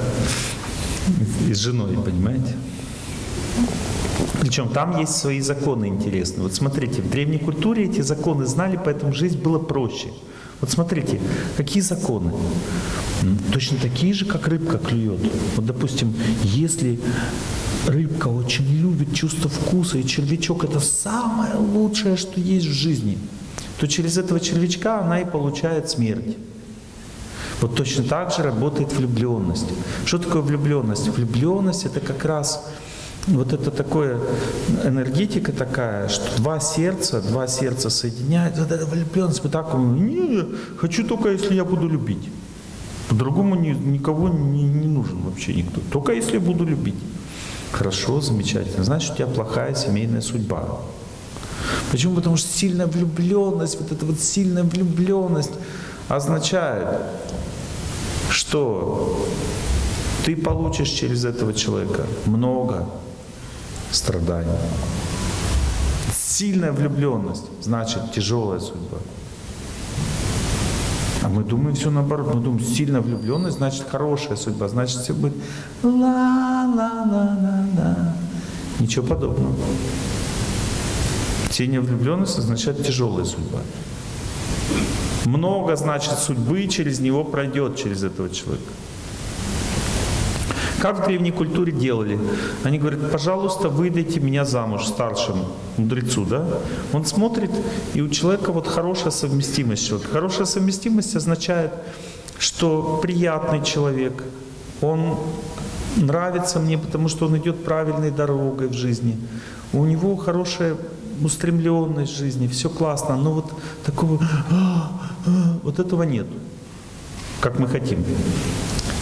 И мудрец говорит, вот это и есть самая лучшая судьба. Когда у тебя э, такое чистое, светлое, спокойное чувство к этому человеку и приятное чувство, это значит, что с ним ты проживешь очень хорошую судьбу. Теперь, когда опасность?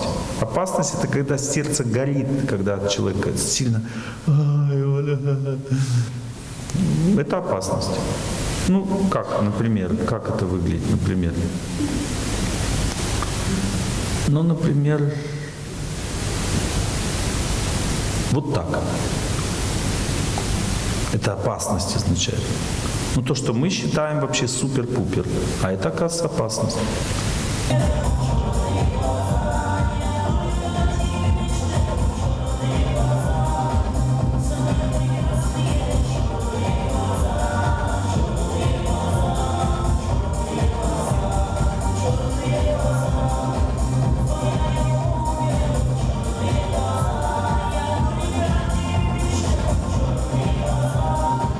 Вспоминаю, умираю, понимаете? Умираю, вспоминаю и умираю. Только о тебе мечтаю. Тяжелая судьба. Запомнили?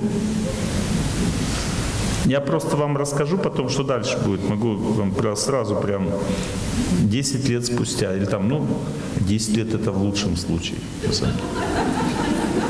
Обычно даже до этого не доходит. Вот, смотрите, что дальше будет. Какое-то время спустя.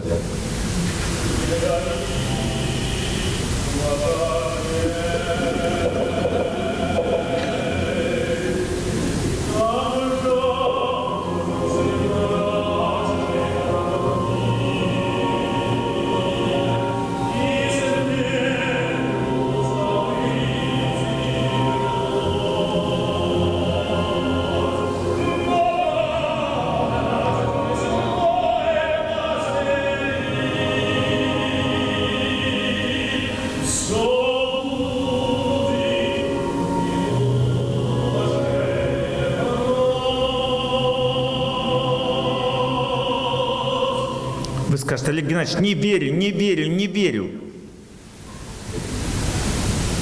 Есть любовь на земле. Любовь есть, но не такая. Понимаете, влюбленность – это эгоистическое чувство. Если человек сильно кого-то любит, то эта влюбленность приводит к гордости.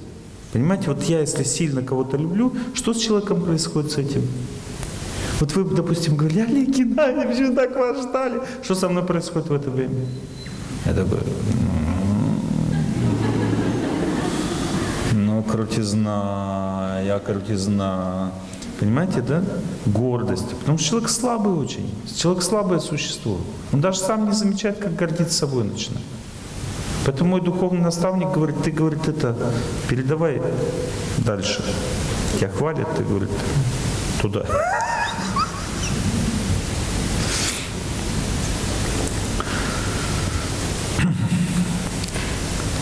Понимаете, если ты кого-то сильно влюбляешься, ты перетягиваешь эту энергию любви на себя. Человек перестает тебя любить, потому что ты все перетянул.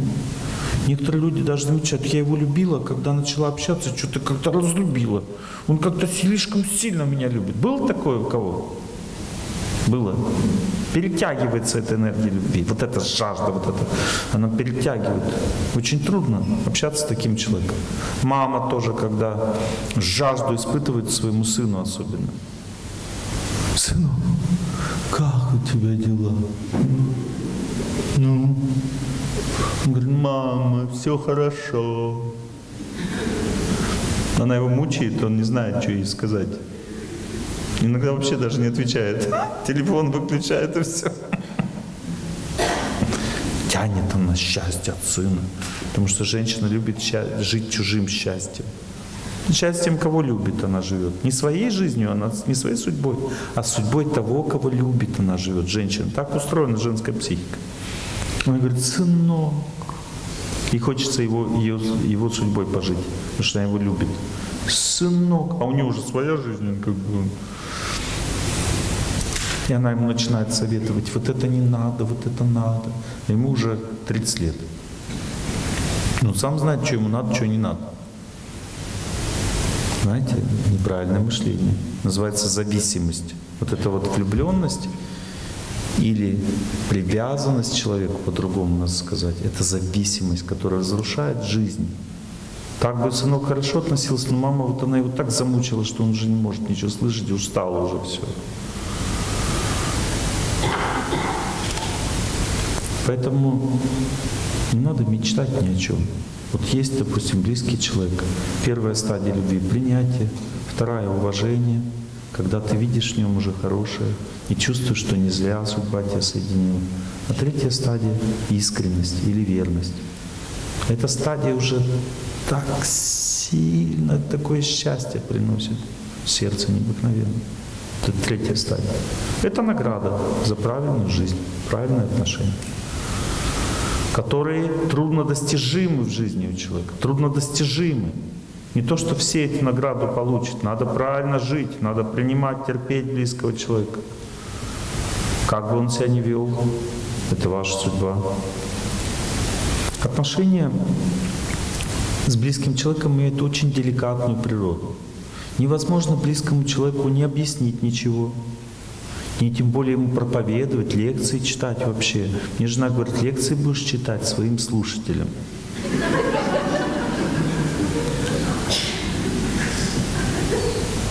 Но если ей что-то надо, она подходит ко мне, говорит, лекция такая-то, минута такая-то, послушай, что ты там говоришь о том, как должен вести себя мужчина. Потом поговорим, подходи. Все наизусть знает.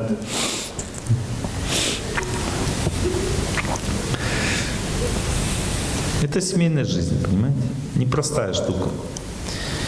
И надо знать просто, как это все работает, и тогда будет счастье обязательно. Не то, что я вас настраиваю, что счастья не будет, надо разбегаться. Нет, оно будет обязательно, и даже не так трудно достижимо, как кажется. Но надо знать, как правильно. Надо первое, что нужно знать, это то, что близкому человеку ты ничего в жизни никогда не докажешь. Ты ему даже объяснить ничего не сможешь. Вот, допустим, ты можешь палачу объяснить? Вот он стоит, допустим, с топором, ты ему объясняешь, типа, ты знаешь, вот на самом деле все не так было. Он говорит, ну ложись, сейчас разберемся.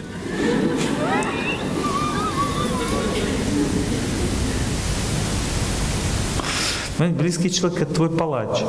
Ему, ему высшие силы совсем другое тебе внушают. Он на тебя смотрит и знает тебя как облупленного. С позиции твоих грехов прошлых он знает тебя.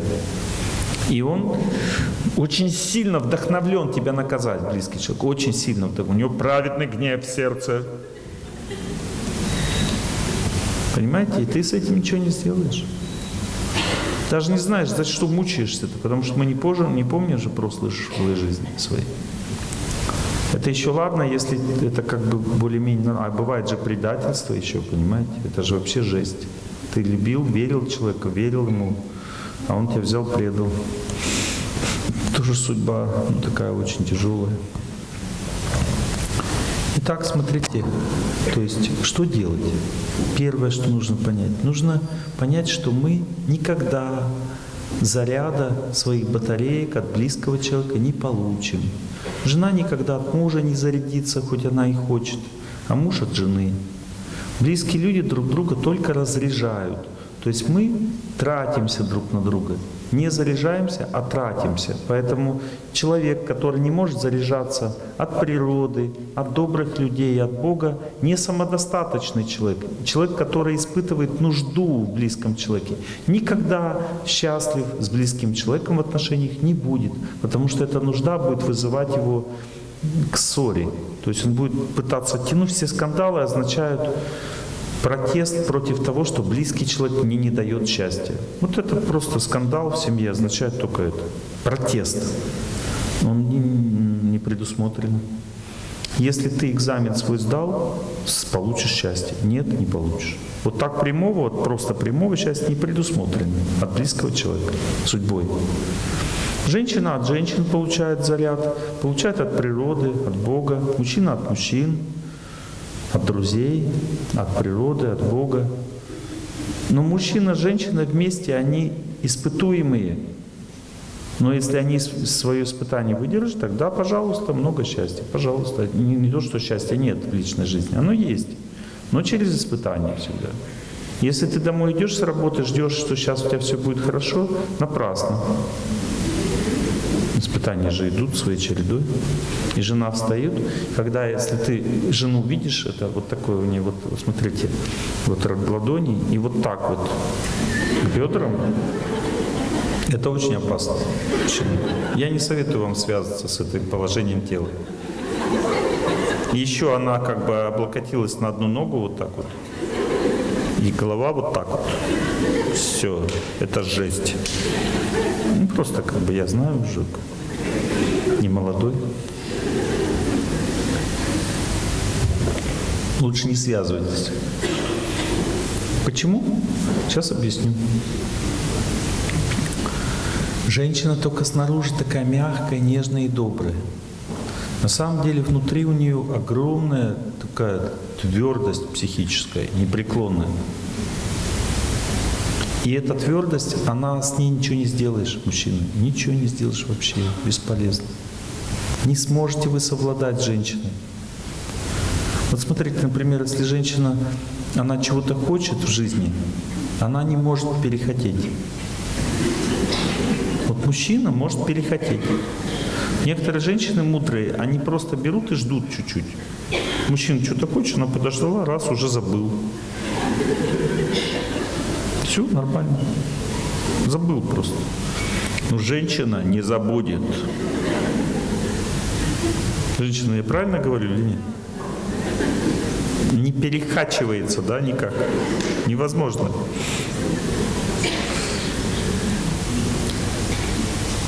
Потом, это означает, что она будет постоянно вас долбить. Причем женщина очень деликатное существо, оно не будет как бы долбить напрямую, но внутри она будет хотеть. И это будет на вас действовать, потому что у нее будет плохое настроение. И скажешь, ну и что, пусть у нее будет плохое настроение. Понимаете, проблема заключается в том, что вот вся обстановка в квартире, она соткана из настроения женщины. Вот то, что дома хорошо, уютно, тепло, это все настроение жены. Если настроение меняется, у дома уже не будет тепло, уютно и хорошо. Мужчина интуитивно подходит к жене и говорит, слушай, в чем дело, а? Она говорит, я тебя что, трогаю, что ли, отстань от меня. У меня плохое настроение. Настроение женщины меняются, как волны в погоду. То хорошее, то плохое. Она не может контролировать это вообще никак. Потому что настроение женщины соткано из огромной потенции энергии, огромной энергии, потому что ее настроение, оно питает квартиру, детей, все вокруг, всю обстановку, питает настроение женщины. И поэтому оно быстро расходуется и может истощиться.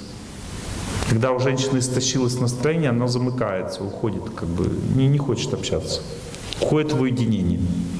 А мужчина чувствует, что ему плохо, у него как бы он пришел домой, жена непонятно где и вообще не хочет разговаривать. Я что тебе сделал, ты со мной не разговариваешь.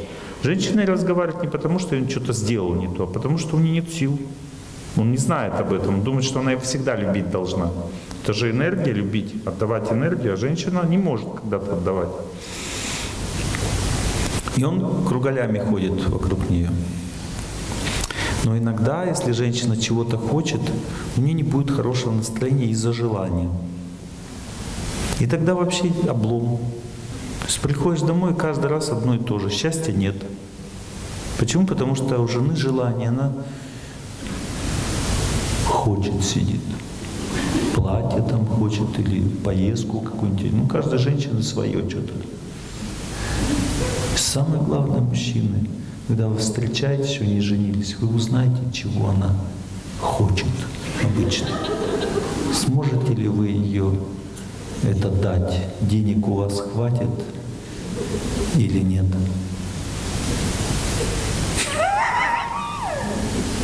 Если хватит, то женитесь. А если нет, то лучше не надо. Потому что будет тяжело потом. Потому что она, если что-то хочет, это не отменить невозможно. Она поэтому замуж и уходит. Чтобы кто-то с этим что-то сделал вообще. И кто-то это вы.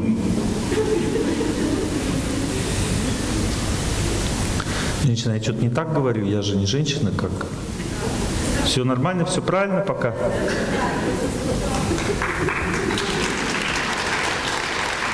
И те мужчины, все правильно. Да мужикам что делать? Вот, хороший, аж ждал этого вопроса. Сколько можно, да? На всякий случай есть мыло, веревка, туалет. Ну а если как бы это не вариант, тогда сейчас расскажу, что делать. Надо изучать, как устроен этот мир. Первое, что надо знать, что вот, ну, женщина, если она уперлась в своем желании, ты хоть что делай, хоть убейся. Она может даже уйти из дома, может с собой что-то сделать плохое, но желание поменять она не может. Ты ничего с этим не сделаешь. Поэтому прими вот эту судьбу. Точно так же, как женские желания, действуют мужские привычки. Понимаете, это одна и та же энергия, только в разных телах. У женщины желание, она что-то хочет и убивает всех желаний, мучает. А мужчина мучает всех своими вредными привычками. Точно так же. Тоже ничего не сделает. Понимаете, потому что разрядка женской психики идет через желание, а у мужчины через привычки. Вредная привычка у мужчины означает неумение отдыхать. Также у женщины тоже желание сильное означает тоже неумение отдыхать. То есть она не удовлетворена в жизни, он не удовлетворен в жизни, вредная привычка. Она не удовлетворена в жизни, какие-то желания, которые она не может контролировать. Что-то хочется сильно. Мы одинаковые по факту, но просто по-разному это все действует в психике. Мы, понятно, свои проблемы мы не чувствуем, а вот чужие сильно чувствуем. Что делать? Надо принять человека. Вот, допустим, мужа приняла с вредной привычкой, он уже на пути к избавлению. Жену принял с ее желанием, она на пути к избавлению. То есть меняется человек в жизни после принятия, меняется. Но очень важно понять, что все наши проблемы идут от того, что мы не, не соизмеряем усилия, мы не понимаем, что отношения с близким человеком должны быть в крайней степени деликатными. То есть ему даже ничего нельзя посоветовать. Нельзя его перевоспитать, близкого человека. Нельзя ему замечания сделать. Понимаете, это все нельзя, потому что это вызывает все очень большой протест сердца и боль. Это так устроены близкие отношения. Что же тогда делать? Вот если человек не так что-то делает, как ему объяснить? Первое, что нужно, это его принять в таком состоянии.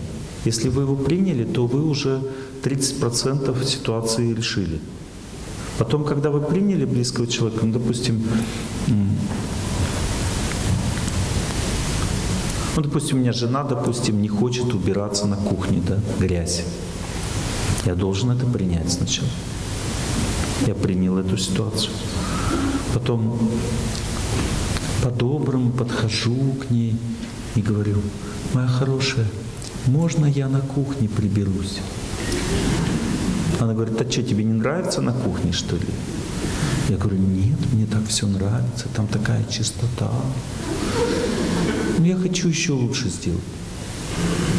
И она улыбается и идет мыть кухню.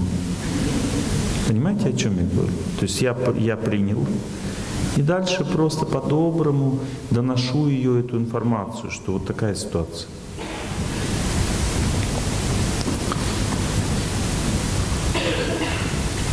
Или еще подобные ситуации какие-то. Допустим, я хочу, чтобы она встала пораньше, пошла зарядку делать. Женское тело же ленивое, оно не хочет зарядку делать, вставать не хочет. А она знает, что ей надо, но не может, потому что тело ленивое, тяжело ей. И нужно вдохновление. Вдохновение. Женщину надо вдохновить, чтобы она что-то сделала. Мужчину нужно просто ему вызов дать, сделать. Например, если мужчине скажет, да ты слабак, никогда этого не сделаешь. Он начнет это делать. Может не сразу, но постепенно. А женщине, чтобы она что-то делала, ее нужно вдохновить. И вот какое вдохновение, допустим? На улице так хорошо, так красиво, птички поют, столько счастья. И она слушает, слушает, и все равно не встает. И ты идешь это счастье получать. Ты говоришь, я пошел счастье получать с улицы. Буду там радоваться, зарядку делать. И пошел. Она встает сразу, она же не может без счастья жить. Она для счастья родилась, а муж счастье получает. Что за ерунда вообще? В чем дело? И она бежит сразу, тоже зарядку делать мной. Но это будет в том случае, если вы отношения имеете с друг другом. А вот отношения чтобы иметь, чтобы вы могли вдохновлять близкого человека. Это самое дорогое. Этого дорогого стоит, понимаете? Вот чтобы близкий человек тебя понимал, принимал, слышал. Для этого надо всегда его принимать, прощать и вести себя очень аккуратно, деликатно. Потому что объяснить близкому человеку невозможно. Ты можно только своим примером и очень добрым стилем отношений поменять его мышление. А вот напрямую прям сказать, вот ты такой, такой, секой, невозможно, он не примет это, а наоборот обидится и будет еще хуже себя вести. Так устроены отношения, они очень деликатную природу имеют и в них очень трудно. А если ваш близкий человек, допустим, вы говорите, Олег Геннадьевич, ничего подобного, я своей жене говорю правду всегда, она все слушает, кивает и выполняет. Очень плохой знак. Это значит, что она терпит, копит яд.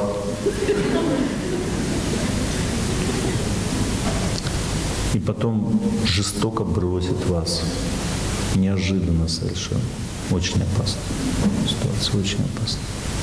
Или, допустим, вы говорите, я своему мужу могу сказать все, что угодно, он кивает, терпит. Это факт. Значит, очень разумный мужчина но счастье ему это не приносит. Поэтому, мои хорошие, не распускайтесь. Даже если близкий человек готов принимать вас, не распускайтесь в своем поведении перед ним, сильно пожалеете потом. Потому что когда такой человек бросит тебя, не выдержит, ты потом будешь горючими слезами плакать, потому что такого больше не найти. Видите, деликатное поведение – основа семейной жизни. Невозможно с этим ничего сделать, потому что Бог учит нас прежде всего любви. Цель, чтобы мы научились по-доброму себя вести с близким человеком. Как же сделать так, чтобы близкий человек пошел вперед, чтобы он начал развиваться, чтобы он работал над собой, менял себя?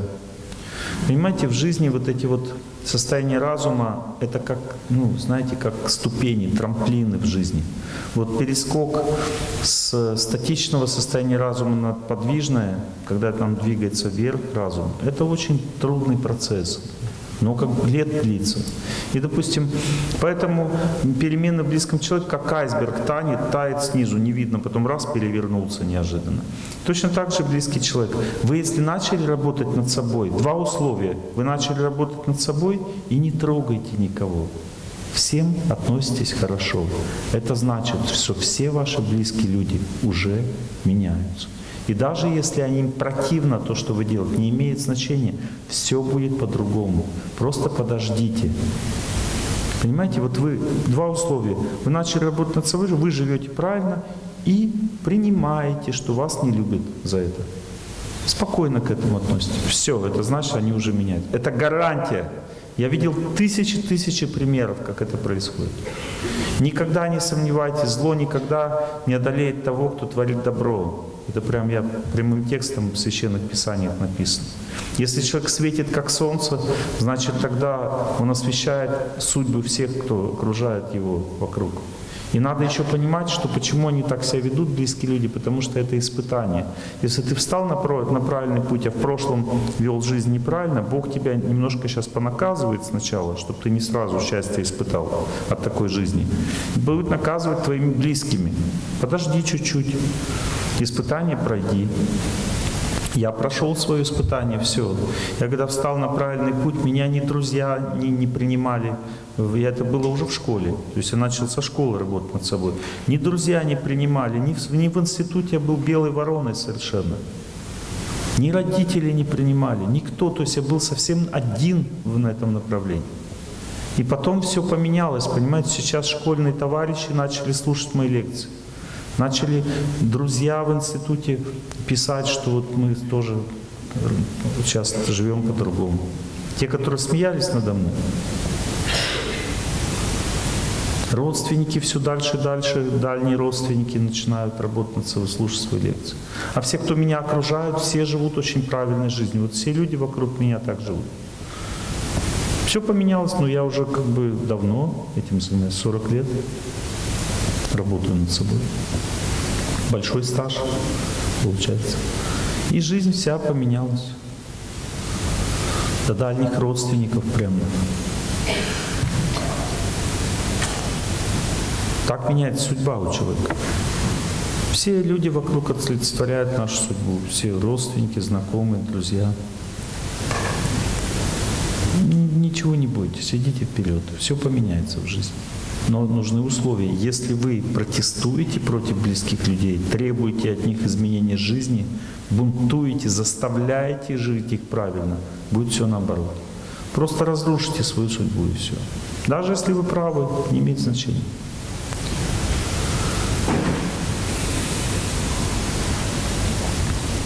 Очень важно знать, что чтобы сохранить себя в отношениях, нужно знать, что люди находятся в трех слоях жизни. Если человек находится в благости, а, то есть живет правильно, работает над собой, можно ближе с этим человеком строить отношения. Даже с таким человеком можно обсуждать вопросы какие-то сложные. Это значит, что у вас очень глубокие отношения. Вы проработали свою семейную судьбу. Не то, что никогда с близким человеком не о чем пог- нельзя поговорить о каких-то сложных вещах. Можно, но это только в благости. Теперь, что такое жизнь страсти? Страсти означает, люди не работают над собой, они живут для достатка. Для того, чтобы в обществе успешным быть, для денег, для зарплаты, для детей, чтобы они выучились. Ну, то есть, э, эта жизнь страсти означает, человек не понимает, что надо с себя начинать. Он как бы не понимает, что нужно молиться, по совести жить, менять свое отношение к людям, не понимает этого. Он думает, что все зависит от успеха, от удачи. Вот повезло нам, у нас денег много, квартира есть, живем в хорошем месте, значит все классно. Так люди мыслят. Это жизнь страсти. Люди в страсти не могут строить близкие отношения ни с кем. Они только думают, что у них близкие отношения. Они не могут сердечные, глубокие отношения ни с кем вообще развивать. Они в жизни даже не знают, что это такое. Для них близкие отношения означают, что мне приятно быть с этим человеком. Если приятно, значит близкий человек. И они так и дружат тоже. Вот кто приятен, я с тем дружу. Неприятен, не дружу. Все. Понимаете? Но приятность это не близкие отношения. Вот, допустим, мне с мужем приятно. Это не значит, что он тебя не изменит и не бросит тебя. Потому что приятно зависит от судьбы. Сегодня приятно, через два года будет неприятно. Он потерпел год-два, а так как у него ни концепции нет в жизни, верность там, терпение, э, у страстных людей нет этой идеи вообще. Они живут для счастья, не для терпения или для самопожертвования. У них другая концепция жизни. И он бросает. Почему? Потому что нет счастья. И он так и говорит, там, не извини меня, с тобой нет счастья. Что я должен с тобой жить? А вот у вас дети уже там и все прочее. Таким образом, жизнь счастья не дает гарантии, жизнь страсти не дает гарантий человеку, никаких. Если ваша цель это машина, квартира, там, престижный вуз у детей, то нет гарантии, что он останется рядом с вами, человек. Плохой период начался, и все смыло семью. Поэтому 80% разводов у нас в России. Потому что большинство людей живут вот так, такой жизнью. Но если вы начали жить по-другому, гарантий становится больше. Почему? Потому что даже если ему захочется уйти, вы можете не дать ему своим поведением. Так часто бывает, я много раз видел. И даже человек уходит, его можно вернуть правильным поведением. Сначала надо его принять. Потому что хоть нам и кажется, что мы близкие, но на самом деле по-настоящему близким может только благостный человек быть. Все остальные люди вызывают определенную тяжесть сердца. Страстный человек, если ты его глубоко понимаешь, он тяжеленький. Ему с ним очень тяжело, тяжело жить. А невежественный еще тяжелее. И дистанция, очень важно правильно выстроить дистанцию. С благостным человеком близкая дистанция. Со страстным чуть подальше. Это деловые семейные отношения. Что значит? Мы договариваемся, что мы вот так вот живем, так делим деньги, так с детьми обращаемся. Все время люди договариваются в страсти. Им нужно законы, порядок, правила. Благостным людям не надо договариваться. Они просто вот верят друг другу и честно живут они как бы жертвуют друг друга ради друг друга. Верность, чистота в жизни — это высокий уровень отношений. Совесть главное. Бог. Совесть означает Бог. Между ними совесть или Бог. У страстных людей у них нет совести между ними. Совесть включается только в беде. Они, у них совесть включается, когда им плохо, тяжело. Они сразу совестливыми становятся, страсти люди. Дистанция должна быть. Если вы, допустим, начинаете сердце открывать человеку в страсти, близкому человеку, это ваш муж или жена, говорите, да я там, понимаешь, до жизни с тобой там вот так вот жила, там мне несколько мужиков было там сразу там или еще всякие подробности рассказываете ему, он все это выслушает. Потом, когда вы начинаете ругаться, он вам это все вспомнил. И вспомнит очень жестоко. Потому что человек в страсти, он не может это все переварить, то, что вы ему сказали, и простить. Потому что он сам такой же. Но просто молчит. Поэтому люди в страсти, они скрытны. Они не говорят всю правду друг о друге. Вот муж с женой живут друг с другом, они не знают всю правду друг о друге. Потому что опасно же говорить. Может бросить человек или еще что-то. И человек чувствует это. Дистанция есть. И с ней ничего не сделаешь. Потому что если вы ее сократите, будет только хуже. Вы не можете ему сердце полностью открыть. Потому что вы на самом деле чужие люди. Вы живете для счастья, а не для самопожертвования. Только самопожертвование сближает. Понимаете, если вы готовы терпеть человека верным всю жизнь, неважно, что он будет делать, тогда это означает близкие отношения. А если просто вы вместе живете ради детей, ради семьи, ради машины, квартиры, светлого будущего, то это не близкие отношения. Это деловые, семейные отношения. И в них нет глубины. Плохой период начался, все, стенка. Я тебя не люблю, ты меня не любишь, мы чужие люди, как вот женщина мне сказала. 15 лет прожили вместе, чужие люди стали. Почему чужие? Да потому что плохой период начался.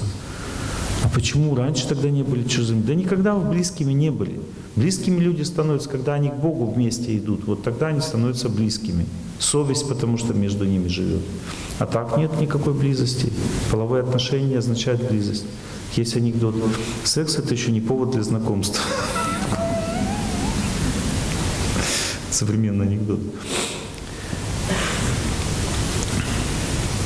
Так не волнуйтесь. Работайте над собой. Солнце вашей любви к Богу растопит сердце близкого человека. Придет время, он придет благость. Пока не пришел, чуть-чуть дистанция. Ну, дистанция не означает, то есть обычная жизнь. Заботьтесь о человеке, любите его, целуйте, э, воспитывайте детей вместе. Но поговорить с ним о глубоких вещах вы никогда не сможете. И если вы начнете такой разговор, его этот разговор взбесит, потому что вы вскроете в нем то, чему он не готов. Понимаете? Нет гарантии, что близкий человек в страсти не будет иметь любовника или любовницу. Какие-то секреты от вас, которые вы никогда не узнаете. Гарантий таких нет. Но если вы будете развиваться близкий человек тоже поменяется, тогда будут гарантии уже. Итак, очень важно выбрать правильную дистанцию. Если вы живете с невежественным человеком, это другая концепция жизни совсем, принципиально другая. Разум невежественного человека катится вниз. Это беда. Жить с невежественным человеком — это беда. Что происходит с человеком? Он спивается или попадает в плохую компанию, засасывается криминальными делами всякими. Плохая компания, пьянство, наркомания, разврат, дебош, ненависть, половые извращения какие-то в крайней степени какой-то. Это называется жизнь невежества. Человека засасывает туда, в это все, как воронку. Можно ли помочь? Можно. С помощью молитвы, духовной жизни можно нейтрализовать это влияние злых сил. И этот человек останавливается сначала в этом влиянии, потом постепенно начинает подниматься вверх, через сильные страдания. Бог такому человеку сначала дает жуткие страдания, чтобы он понял, что он не туда идет. Очень важно знать, что когда невежественный человек рядом с вами живет, дистанция должна быть больше. Она должна быть такой, чтобы вы не ругались с ним. Потому что если вы начинаете с ним ругаться, то вы будете разрушены психически. Потому что невежественный человек, ему все равно, будете вы жить или нет. Ему главное отстаивать свое. Ему, он может перешагнуть через кого угодно, даже через своих детей. Поэтому опасно сближаться. Сближаться имеется в виду глубоких каких-то вещах. Я не говорю телесные отношения там. Ругань началась с невежественным человеком, который может побить, избить, там злые отношения начались. Можно даже жить отдельно, молиться за него, но не бросать этого человека, потому что бросая его, бросаете свою судьбу. А если человек с судьбой начал воевать, тогда война это не закончится. Просто так. То есть ты бросаешь свою судьбу, значит идешь в пустыню, в одиночество. Или будешь раскаиваться, чтобы вернуться опять в семью. Может быть, этого человека Бог даст, может, другого. Но если человек бросает близкого человека, он не идет к другому человеку, он идет в пустыню, в одиночество, потому что Бог держит людей вместе. Человек не может сам привязать себе другого человека. Это невозможно.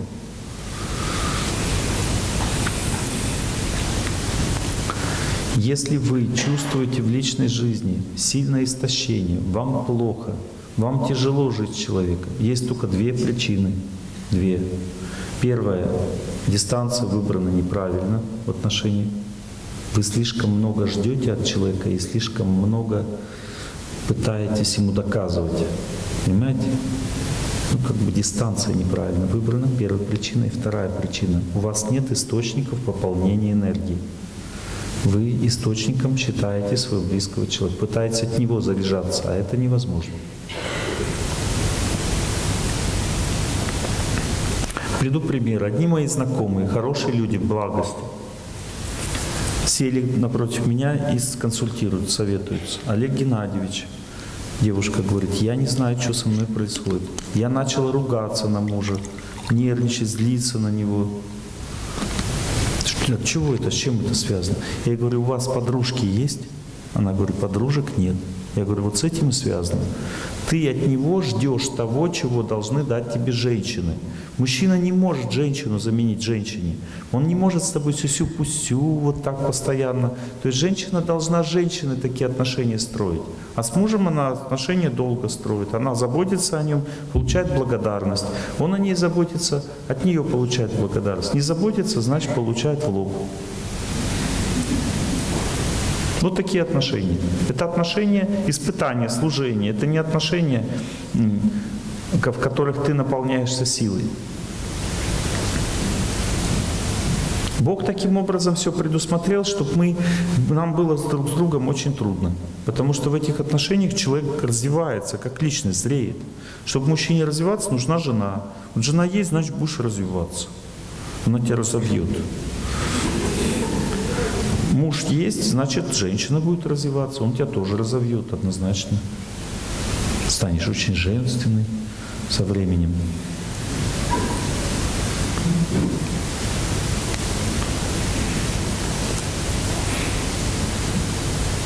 Мужчина не может терпеть женские эмоции.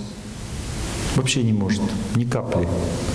А женщине так хочется выразить свои мысли. Когда она, мужу говорит, и ей хочется очень сильно выразить, чтобы навсегда запомнил. И она ему, сейчас я тебе скажу. Очень эмоционально. И он такой, может завтра. Сегодня я устал.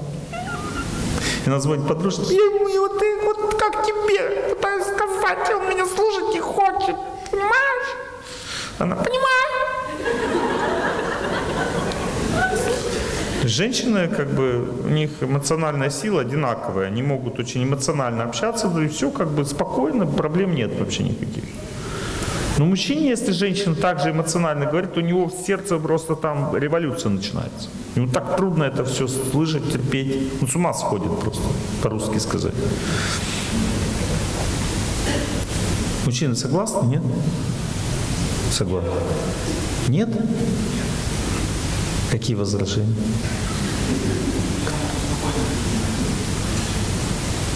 Ну давайте измените микрофончик. У меня есть несколько подруг, и я могу спокойно принимать позицию. Они... Да мой хороший, мы же говорим про семью, а не подруг. А, ну тогда хорошо. Специально дал микрофончик, чтобы мы выяснили ситуацию. Я сильно удивился, когда только это Подруги же, они перед вами ля-ля, тра-ля-ля, они же добиваются вас. А жена-то она уже добилась. Совсем другое дело, понимаете?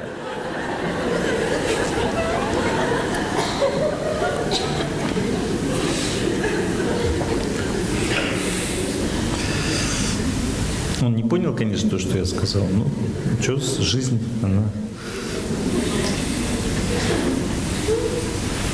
Жизнь сама таких накажет строго. Высоцкий поэт. Тут мы согласны, скажи, Серега. Это я не про вас, это все нормально. Спасибо вам, что вы мне помогли. Вообще мужчины, они любят, как сказать свое слово. Это правильно. Я не сомневаюсь, что как кто-то из мужчин может терпеть эмоции своей жены полностью. Это значит, что он ее сильно любит. Вот и все. Сила у него есть такая. Как. Мы об этом еще поговорим. Но очень тяжело терпеть по-любому. Теперь мужчины, женщины точно так же вас не могут терпеть. Точно так же. Потому что у человека есть три центра разума. Есть центр разума, связанный с сознанием, он в области лба, центр разума, связанный с энергией любви в области сердца, и центр разума в области паха.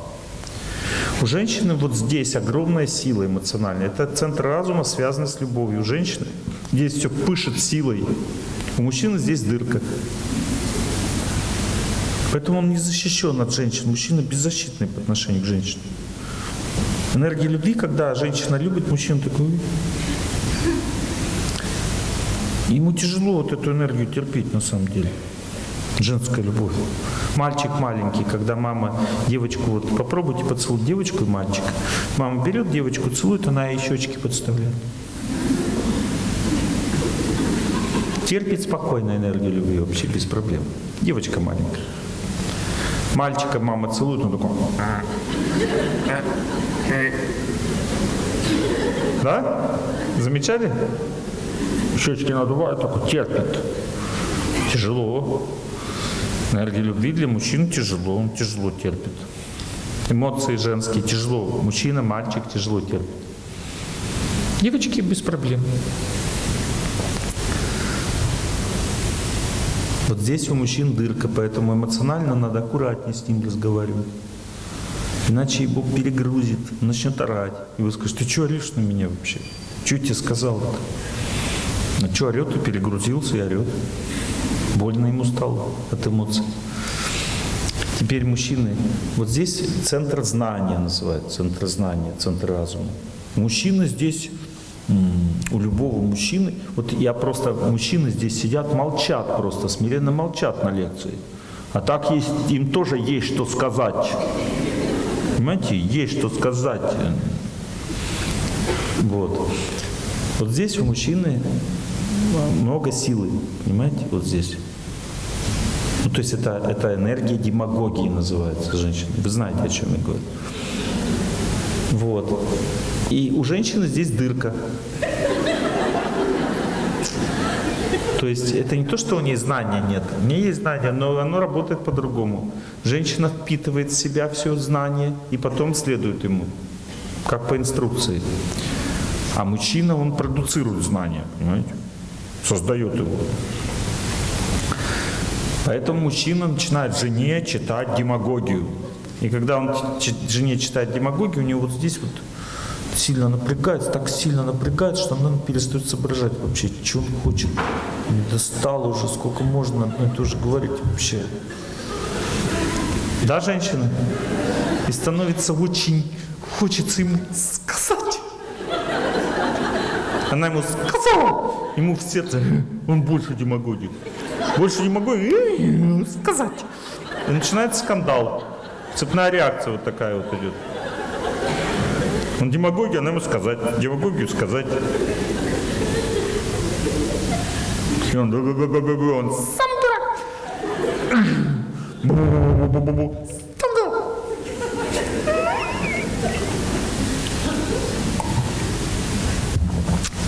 Цепная реакция. Потом посуда начинает лететь, там все, что под руку попадет.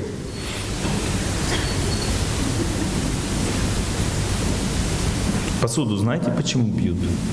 Это женщины не бьют посуду. Мужчины бьют посуду, которая нравится жене. А женщины бьют посуду, если муж ее подарил на день рождения.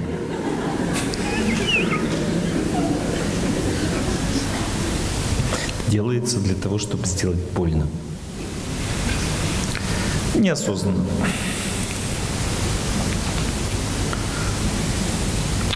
Причем поведение во время ссоры разное. Его не надо воспринимать как что-то серьезное. Это просто выход из равновесия. Вот смотрите, мужчины, когда идет ссора, они угрожают, делают угрозы. То есть, да я тебя, от тебя уйду, там, да ты на самом деле, я тебя никогда. Ну, то, то есть, ну, как бы такие угрозы, как бы какие-то решительные действия и шаги. Он показывает, что он будет что-то делать очень решительно и сильно сейчас. Так мужчина себя ведет. Это понты. Понты – это рога оленей. И когда олени как бы соревнуются из-за самки, они сшибают себе рога вот эти вот. И это, это нужно для того, чтобы новые отросли. Потому что у них вот сезонно это растет, потом надо их сшибать, чтобы новые росли. Поэтому они понтятся, то есть втыкаются рогами друг в друга. Мужчине надо обязательно кидать понты. Иначе он не может жить нормально. Женщины поняли, если он угрожает, все это все ерунда, не слушайте. Теперь женщины что делают? Они говорят о чувствах о своих. Например, она может сказать, я тебя никогда не любила, ты мне не нужен, и мы с тобой несовместимы, мы с тобой разные люди. Это то же самое, это просто месть. Для того, чтобы им плохо стало, она говорит. Цель только такая. На самом деле это все ну, не, не соответствует истине. Поэтому, когда люди ссорятся семейно, не надо все это воспринимать серьезно, кто что там сказал. Это все просто ерунда. Не имеет значения. Причем в это время человек искренне верит, что это правда. Но никакой правды в этом нет.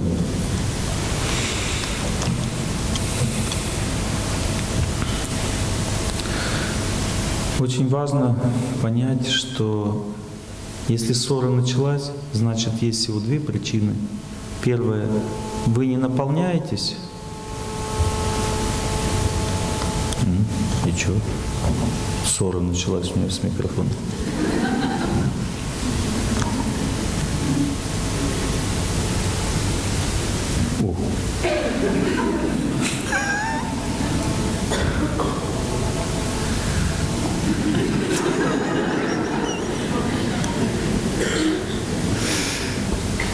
Женщина на мужчину еще сильнее действует. Итак, ссора началась, значит, вы не наполняетесь природой от людей, от Бога. Вы не самодостаточный человек. Первая причина. И вторая, дистанция у вас неправильная. Вы слишком сблизились с близким человеком. Когда люди слишком сближаются, ранимость повышается многократно. Слишком сблизился означает много ожиданий, много доверия близкому человеку, много как бы вот, очень близкие отношения. Это опасно. Близкие отношения всегда приводят к грубости, пошлости в отношениях, беспардонности. Люди что хотят, то и говорят, то есть они контролируют себя. Нужно чуть подальше. Это нормально. С невежественными людьми надо вообще дистанцию больше держать. Со страстными э, дистанция покороче, с благостными еще короче. Но дистанция в личной жизни все равно должна быть. Надо близкому человеку давать свое пространство жизни обязательно. Потому что если нет этого пространства, человек начинает истощаться и уставать от отношений. Иногда хорошо даже спать раздельно. Потому что даже когда ты спишь, идет как бы истощение. Люди это чувствуют, они уже не могут друг с другом спать. Некоторые это расценивают как то, что типа мы не любим друг друга. Это неправильно. Просто истощение наступило, надо немножко давать друг другу восстанавливаться друг от друга. Женщина восстанавливается через... Женщине нравится восстанавливаться через э, социум. То есть что нужно женщине в жизни? Некоторые женщины думают, что им нужно работать. Работа какая-то нужна. Женщине не работа нужна. Женщине нужно социальное служение. Она путает. Женщине нужна забота о ком-то. То есть ей не нужна работа, ей нужна забота. Она это воспринимает как специальность какую-то там. Это все нужно, да. Но если говорить об отдыхе, почему женщина идет на работу? Она хочет отдохнуть от семейной обстановки, она устает от нее. И это самое лучшее делать, если есть какое-то социальное служение. Вот в древней культуре женщины не работали. Они совершали социальное служение. Что такое социальное служение? Это обучение детей в школе, лечение людей. Это уборка территорий, забота о пожилых людях, э, другие какие-то общественные мероприятия. То есть женщина на производстве не работала в древней культуре. Она занималась всем социальным обустройством общества. Это ее было занятие. И так как она соткана из любви, ей это нравилось делать, заботиться о людях, помогать, служить, кормить, готовить, допустим, в обществе, там, столовые какие-то общественные помогать нищим, лечить, обучать, воспитывать. Все это женская деятельность в обществе. Женщинам очень нравится, и они отдыхают в этой деятельности от своей семьи. Женщина истощается дома. Мужчина отдыхает на работе до дома, а, ну, впахивается на работе. А женщина отдыхает на работе, а устает дома. Женщины, когда дома не отдыхают. Она домой приходит и сразу начинает что-то делать там. Правда? Не расслабляется там никогда. Потому что это поле деятельности для нее, она там работает. Она устает поэтому от дома. Жить на работе же невозможно всегда, правда? Она устает дома, поэтому ей нужно куда? Куда-то, где бы она отдохнула. Поэтому некоторые женщины говорят, Регина, что я не домашняя такая, я не хочу дома сидеть, я уже не могу. Особенно это касается женщин, которые маленькие дети, им просто хочется убежать просто, потому что она истощена. Мужчины должны это понимать. Где женщина отдыхает? На разных лекциях, кружках, танцах, там, допустим, что-то связанное с искусством, с познанием. Вот когда женщина что-то изучает, она ей нравится, она отдыхает там. Вот. Всякие фестивали, кружки, тренинги всякие. Работа также. Иногда женщины на работе отдыхают. То есть это то, что женщине нужно для того, чтобы она отдыхала, приходила в себя от домашних дел. С подружками вообще не отдых идет у женщин.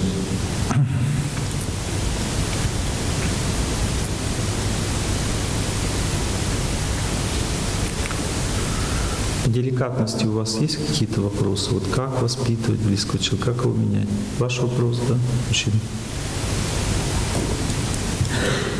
Большая лекция, вопрос такого плана. Как узнать а, желание женщины? Хорошо, сейчас вам расскажу. Я знаю. Не подробно, но знаю. Вот смотрите, есть два типа рождения человека. Вообще душа, когда она находится в тонком теле, она следует просто своим желаниям. Есть два типа желаний у человека во время воплощения. Первый тип желания. Человек хочет счастья, отдыха, любви, награды, чистоты, нежности, гармонии. Вот такие желания. То, то душа получает женское психическое тело. В этом теле очень много энергии любви и мало энергии воли. Когда душа хочет жизни все поменять, хочет развития, хочет знания, хочет победы, хочет преодоления, изменений, перемен требуют наши сердца. Понимаете, тогда душа получает мужское тело. Женщина вообще не хочет никаких перемен, она хочет стабильности. Ей хочется, чтобы все гармонично, стабильно было. Нежно, красиво и гармонично, стабильно, нежно, красиво и по-доброму. Мужчина же хочет, чтобы все было, как он считает нужным. Он хочет добиваться, менять, преодолевать, развивать э, и так далее. Поэтому у женщины главная проблема у женщины психики – это чувство дисгармонии и страх нестабильности. Чувство дисгармонии вызывает у нее протест сердца, поэтому она уборки постоянно дома делает, чтобы была гармония, чистота. И ощущение каких-то изменений, перемен вызывают у сердца, у женщины в сердце страх, потому что она хочет стабильности и спокойствия и гармонии все время в жизни. Мужчина вызывает страх, жуткий неприязнь, у мужчины вызывает несовершенство. Если он чувствует, что он не побеждает ситуацию, что он не преодолевает трудности, не добивается того, чего надо в жизни, это для него жуткое страдание. Очень важно знать разницу в рождении. И нельзя никогда завидовать другому чужому рождению. Вот, допустим, как женщина завидует мужчине. Зависть женщины к мужчине идет через оценку его мнения. Вот, допустим, она ему говорит такие слова. «А что ты все время навязываешь свое мнение? Есть и другие мнения, не только такое, как у тебя. Что ты всегда пытаешься доказывать свое? Понимаете, это зависть к мужскому рождению. Вот когда родишься мужчиной, тоже будешь пытаться доказывать свое, отстаивать свое мнение, побеждать всех. Вот это просто так работает мужская природа. То есть женщина должна дать возможности мужчине отстаивать свое мнение, потому что это его природа.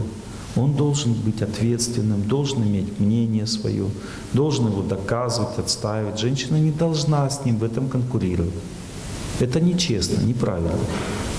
Теперь, как мужчина завидует женщине? Мужчина завидует женщине таким образом. Он говорит, ты что на зарядку не встаешь? Чего ты валяешься целыми днями? Почему ты столько сладкого ешь? Почему ты ленивая такая? Почему на работу не хочешь ходить, как я, допустим, работаю? Почему свои денежки не отдаешь, а я должен свои отдавать?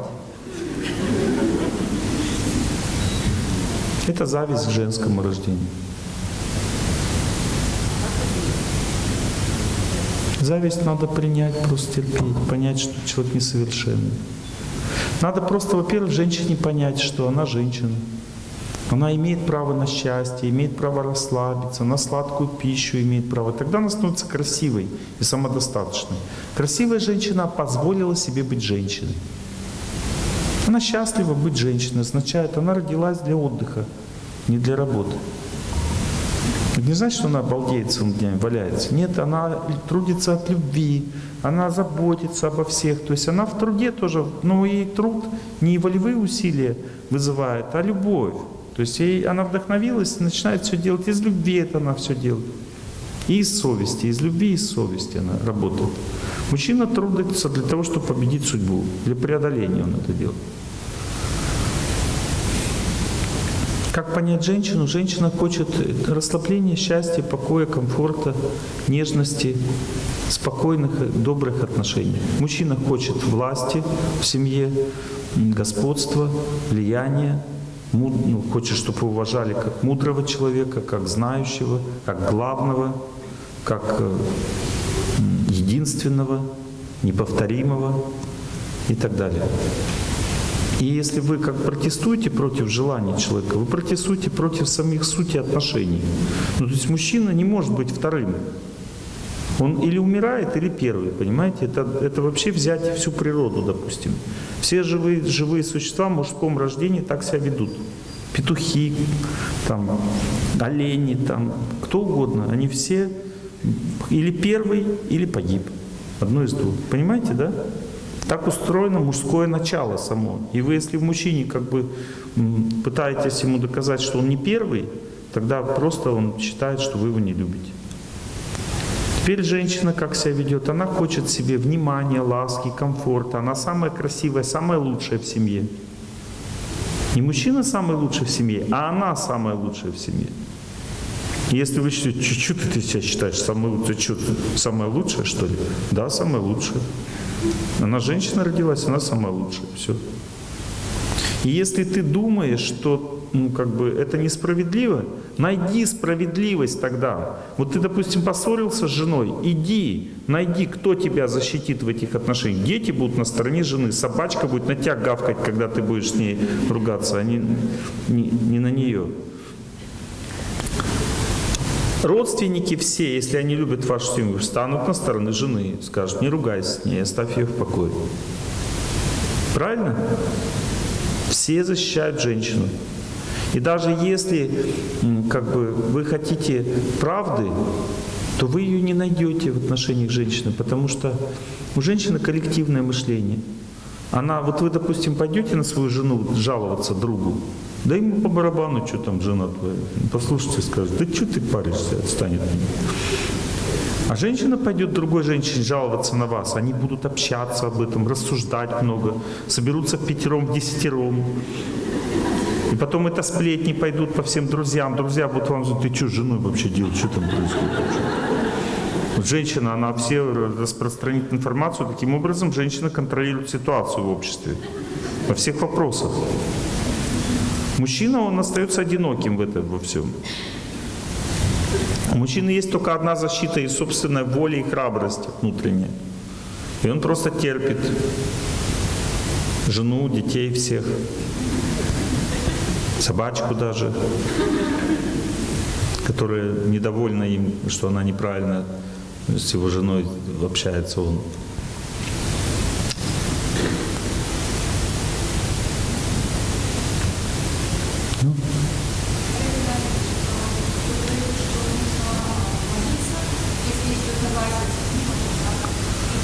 Разногласие означает неправильная дистанция. Означает, что вы слишком много ждете друг от друга и слишком мало получаете силы от природы, от людей. Вот у вас, допустим, вы от природы нормально получаете, у вас истощение в людском факторе находится. С Богом хороший контакт, с природой хороший, с людьми не хватает подружек. Вы не насыщаетесь от людей, понимаете? Поэтому вы ждете от мужа и от этого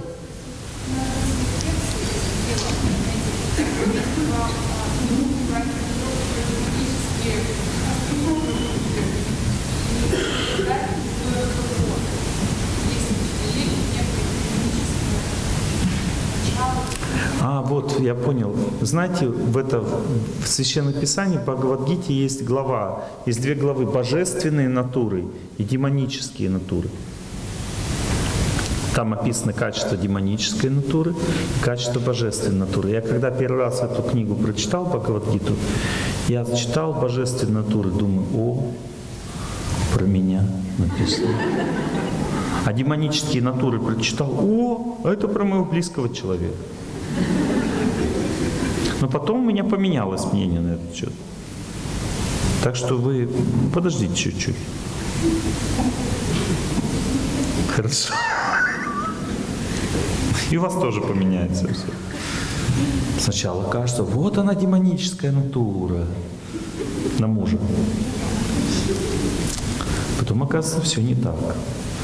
Когда человек развивается, он проходит стадии развития. Первая стадия. Человек, когда начинает развиваться, он думает про себя. Я благостный человек. Но они вообще вокруг, конечно, демонические вопросы. Вторая стадия э, развития — я не просто благостный, а возвышенный человек. Третья стадия — я мудрец. Четвертая стадия — я гордый человек. Следующая стадия — я грешный человек. Следующая стадия развития человека — я ничтожный человек, а все остальные очень хорошие. Понимаете? На какой вы стадии развития находитесь? А, теперь вы по-другому заговорили. Но вы меня другой вопрос задали совсем сначала. Про демонических людей. Что? Что оно? Демонический. Почитайте поглубже Священное Писание, и вы на следующую стадию развития перейдете.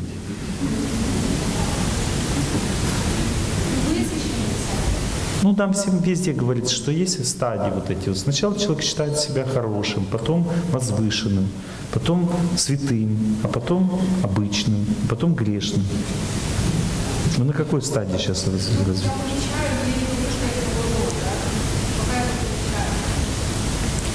Вопрос ведь не в том, что мы уличаем, а кем мы считаем людей и себя.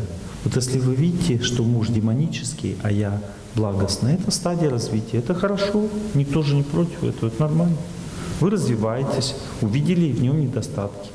Понимаете, раньше меньше как вместе, как бы в дерьме, как бы и нормально было.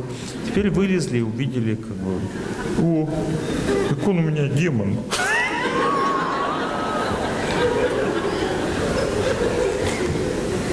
Два года назад еще были в дерьме вместе, а сейчас он уже демон.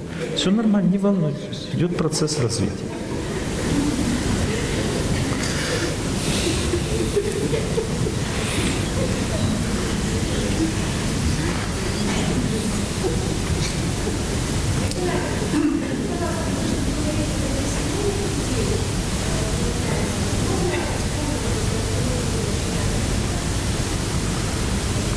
Когда люди встречаться начинают, ну это маловероятно, что это будет. Потому что когда люди встречаются, Бог их награждает, понимаете? Вот точно так же, как рождается ребенок маленький, женщина видит в нем душу. Она все самое чистое, светлое в нем видит сразу, понимаете? И это такое счастье. И на всю жизнь она запоминает так своего ребенка. Точно так же парень с девушкой встречаются, Бог им открывает самое чистое и светлое друг в друге, понимаете? Они видят, видят очень много красоты, чистоты в друг друге сначала. И это Бог это делает для того, чтобы показать, какой будет конечный результат. Если люди правильно друг с другом будут жить, они потом то же самое увидят в конце. Понимаете, когда пройдут путь. Тоже эту чистоту, красоту, все это увидят со временем потом. А посередине там немножко другое видение. А в начале только самое лучшее. В начале не самое лучшее, значит, самое лучшее было в прошлой жизни. А в этой вы уже, значит, не первый раз встретились и уже встречаетесь, сразу продолжаете то, что было до этого. Ругаться сразу начинаете, потому что продолжение идет отношений. И что делать? Жить. Жить.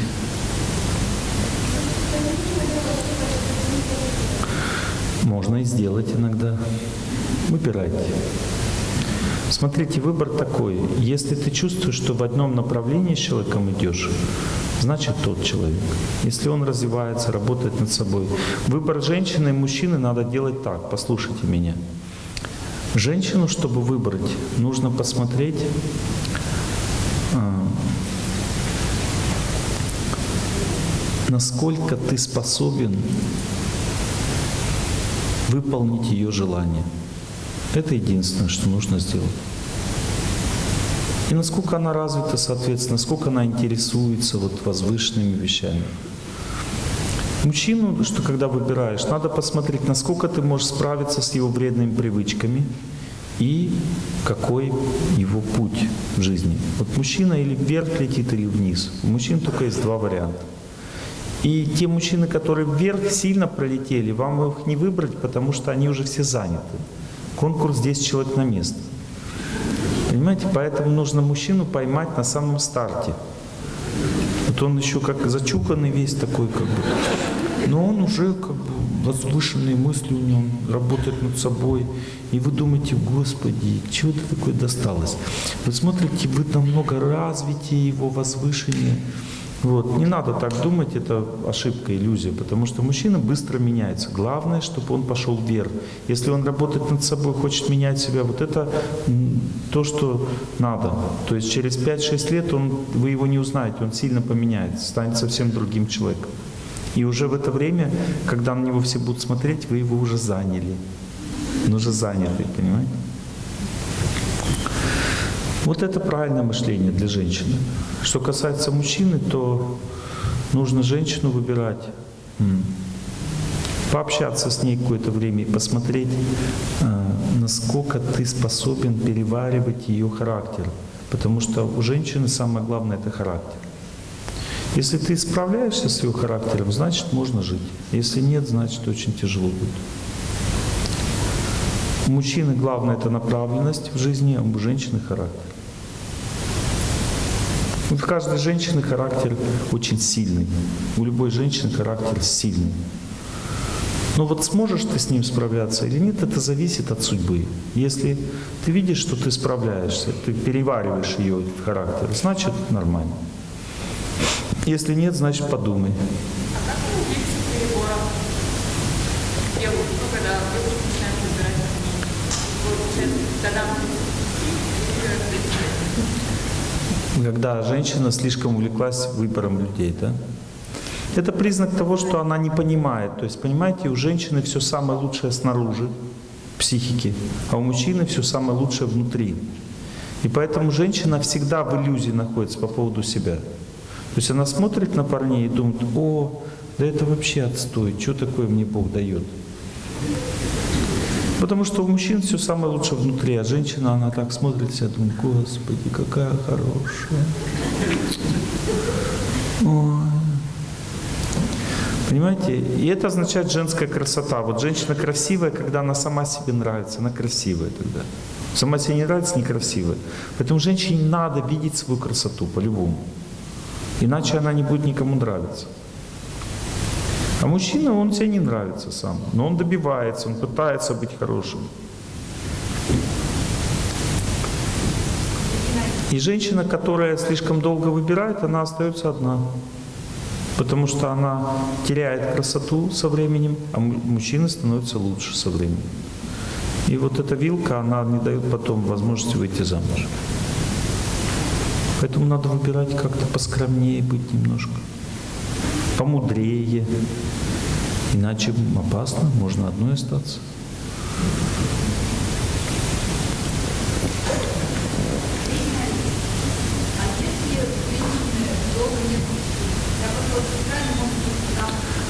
Не может выйти замуж, это означает, она слабая. То есть есть женская сила. Это сила, эм, как бы, женская сила, вот я сейчас скажу, что это такое. Вот это то, что дает возможность женщине выйти замуж. Женская сила, сила заботы.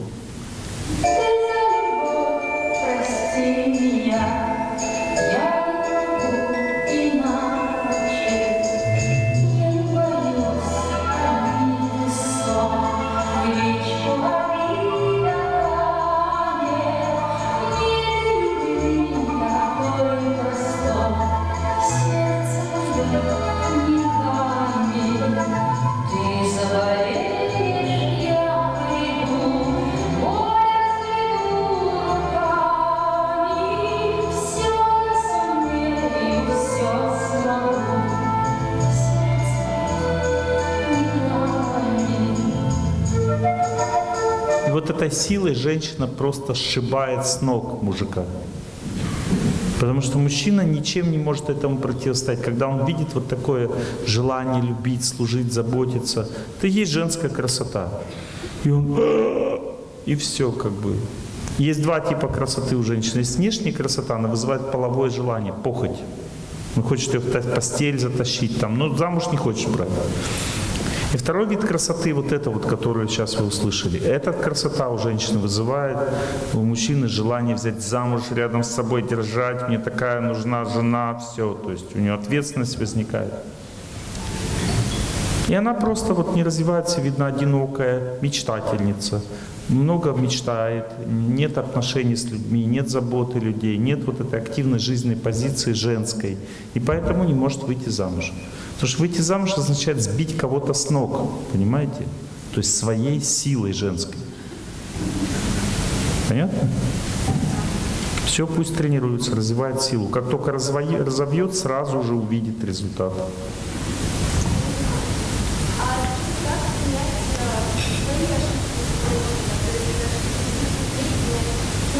Как свои ошибки принять? Это груз судьбы. Груз судьбы. Очень трудно принять груз судьбы. Человек принимает, когда он становится духовно сильным, когда много Бога в его жизни, много любви, весь груз он отступает, ему становится легче жить, потому что он очищает себя, делает себя сильным, и тогда груз судьбы отступает. По-другому никак не отступит.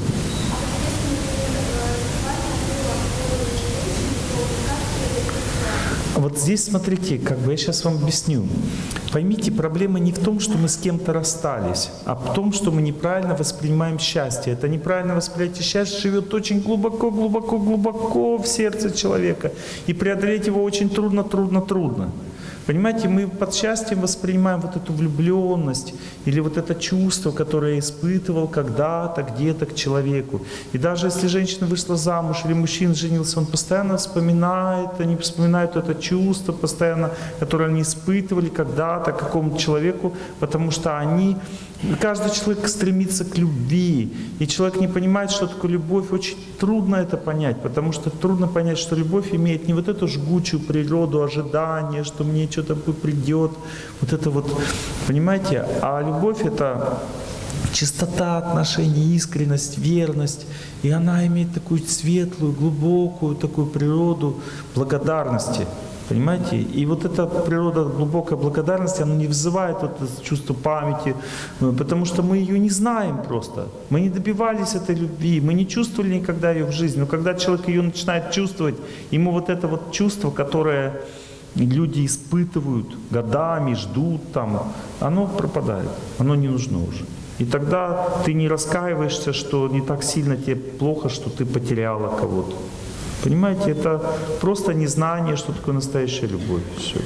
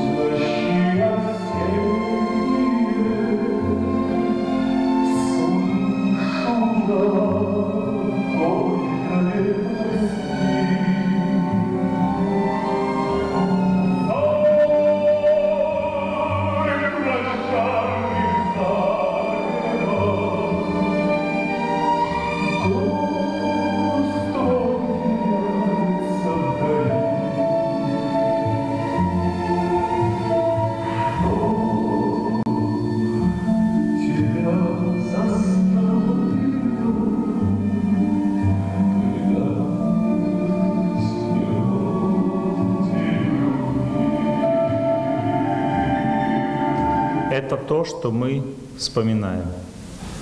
Запомнили? А вот это то, что должно быть, что мы не вспоминаем. Но когда это будет, тогда вспоминать будет нечего.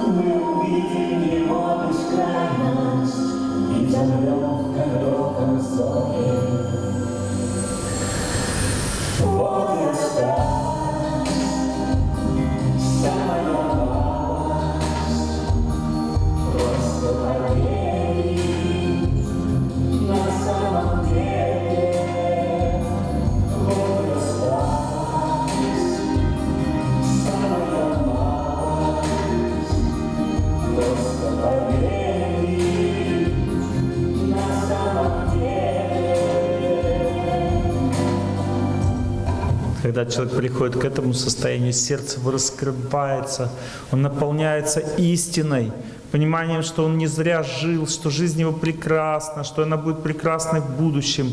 И все вот эти вот мелодии любви, которые он вспоминал раньше, они перестают его беспокоить. Поэтому не беспокойтесь о том, что было. Это просто наша память той любви, которая на самом деле является иллюзией. Не было никакой любви. Была просто мечта. Мы живем мечтой вот этой любви, мы чувства это испытываем.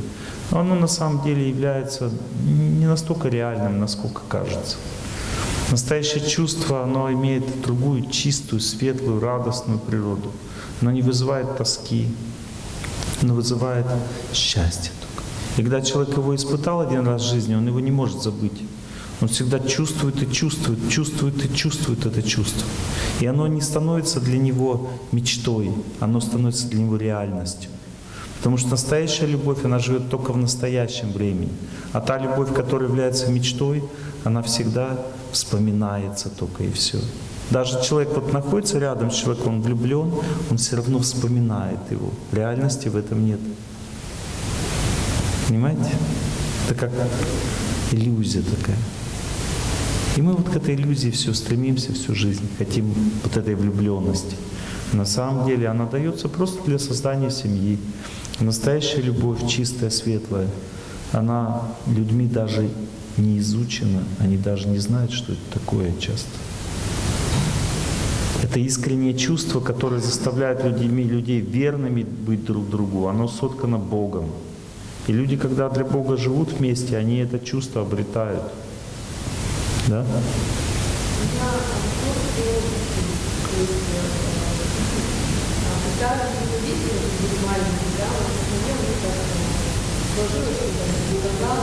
У вас тяжелая семейная карма, и она перешла также на се- сегодняшнюю ситуацию в вашей жизни.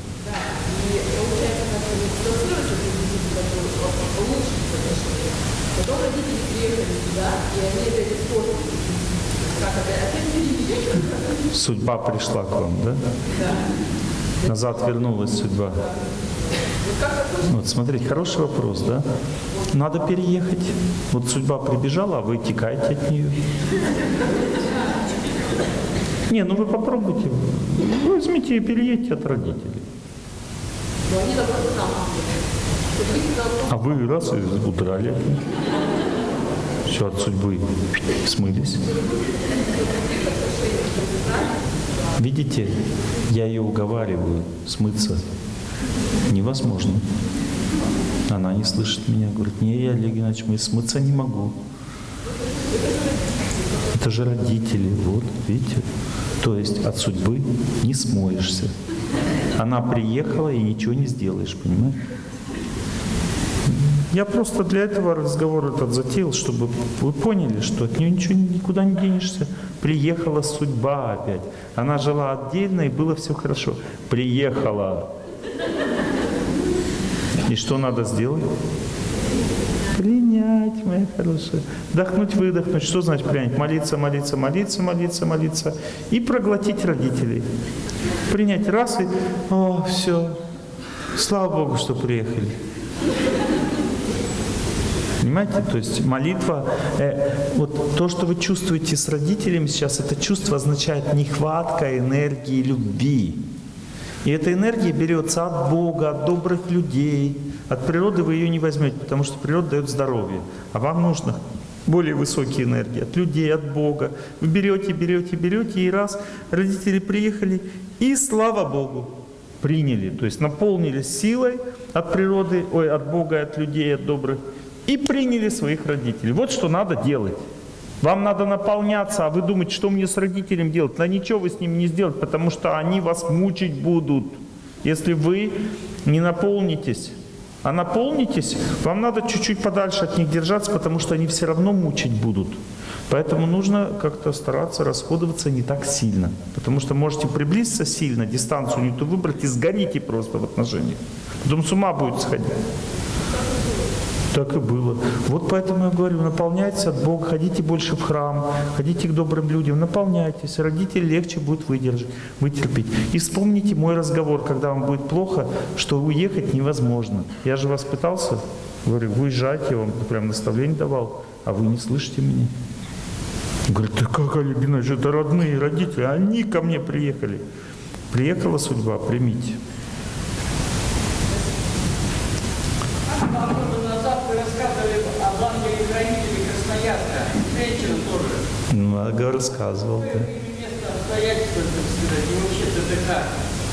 Че? Ну, вообще, как это было? А зачем? Знать, зачем вы все это знаете? Ну. Ну хорошо, я расскажу вам. Но это не все же поймут, понимаете, это сокровенное же знание.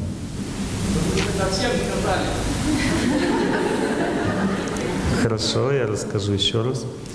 Я первый раз ехал в Красноярск, это было 6 лет назад. Из аэропорта в город я ехал. И я почувствовал какое-то влияние на себя.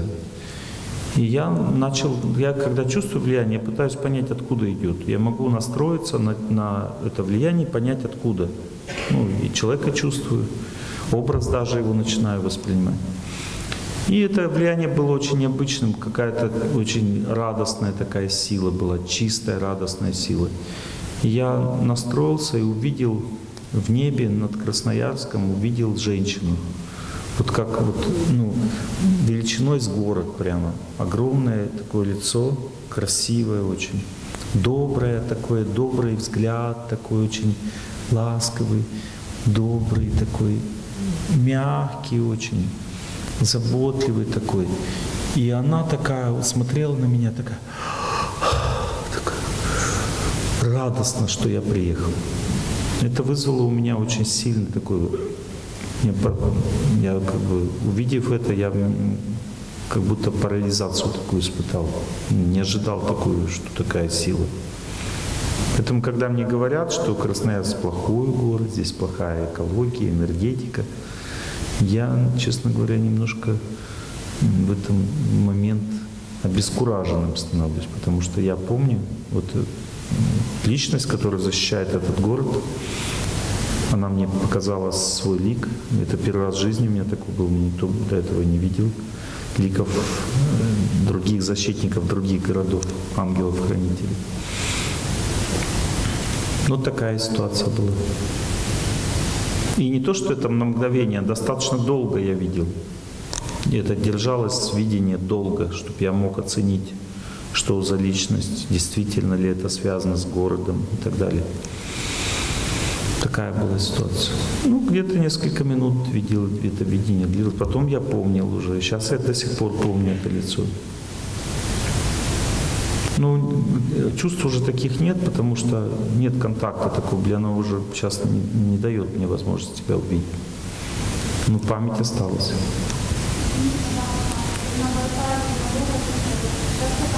На Байкале тоже я могу вам рассказать. Я там был и специально зашел в воду, чтобы понять, что это за место. Я тоже в медитации увидел, что ну, в одном месте на Байкале,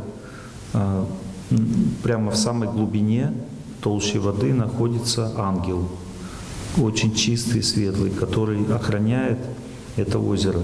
И оно, он делает его святым, поэтому вода чистая и чистая атмосфера. Ну и все там очень чистое, красиво все, чисто. И у этого ангела есть в подчинении много очень сильных духов. И все они обладают огромным могуществом. И когда, допустим, кто-то на Байкале пытается портить жизнь, атмосферу, там, пытается экологию нарушать, то эти злые духи входят в хищных животных. И эти хищные животные начинают караулить этого человека и раздирают потом его. Поэтому там много смертельных случаев, связанных с нападением животных. Но именно местные сторожилы, эти вот буряты, они считают, что это плохие люди, а хороших людей они не трогают. И они знают, что это злые духи входят в животных специально, чтобы ну, наказать этого человека. То есть все вот так и так они понимают эту ситуацию. И они поклоняются озеру, считая его святым. И это правда. Я когда заходил в эту воду, я почувствовал, что это святое место. Я даже просто вот из рук начал пить воду такой чистоты. Я никогда в жизни не пил такую чистую воду.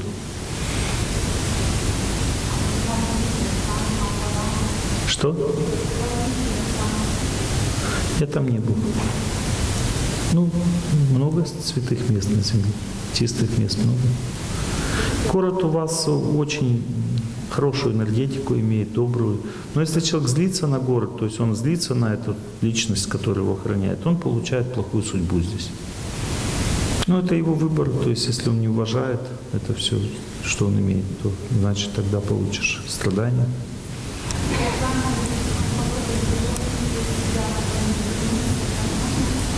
Попробовать себя в другом месте вернуться. Можно, а нельзя? Это не то, что ты бросаешь мужа. Попробовала с другим мужиком и вернулась назад. Мы жители земли. Большого греха нет в том, что человек уезжает из своего города и живет в другом месте. Большого греха нет. Но надо знать, что город, который человек имеет в жизни, это благословение. Особенно очень важно знать, что есть четыре направления в жизни, четыре стороны света. И очень важно знать, как правильно взаимодействовать с этими сторонами света, потому что они имеют силу судьбы. Это сокровенное знание, то, что я сейчас расскажу. Южное направление дает человеку увеличение наслаждения в жизни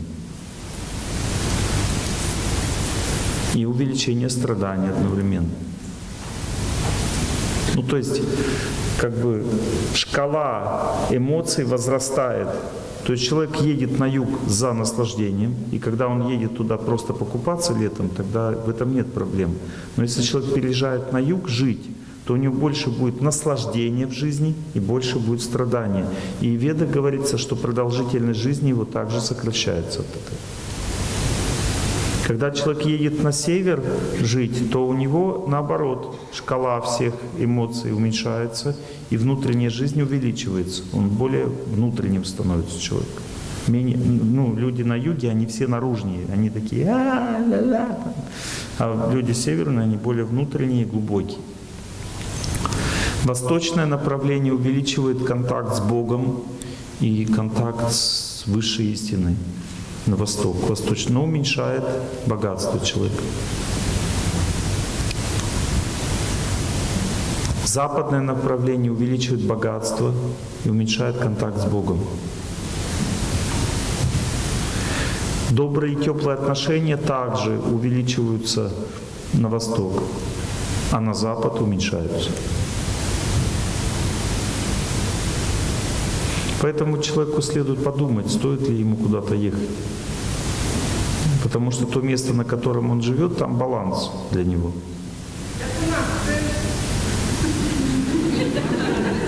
А? У каждого человека, где он родился, это центр мира для него. В каждом городе так, ощущения такие. У всех людей такие ощущения. Где бы я ни был, везде говорят, так у нас же центр. Так и есть.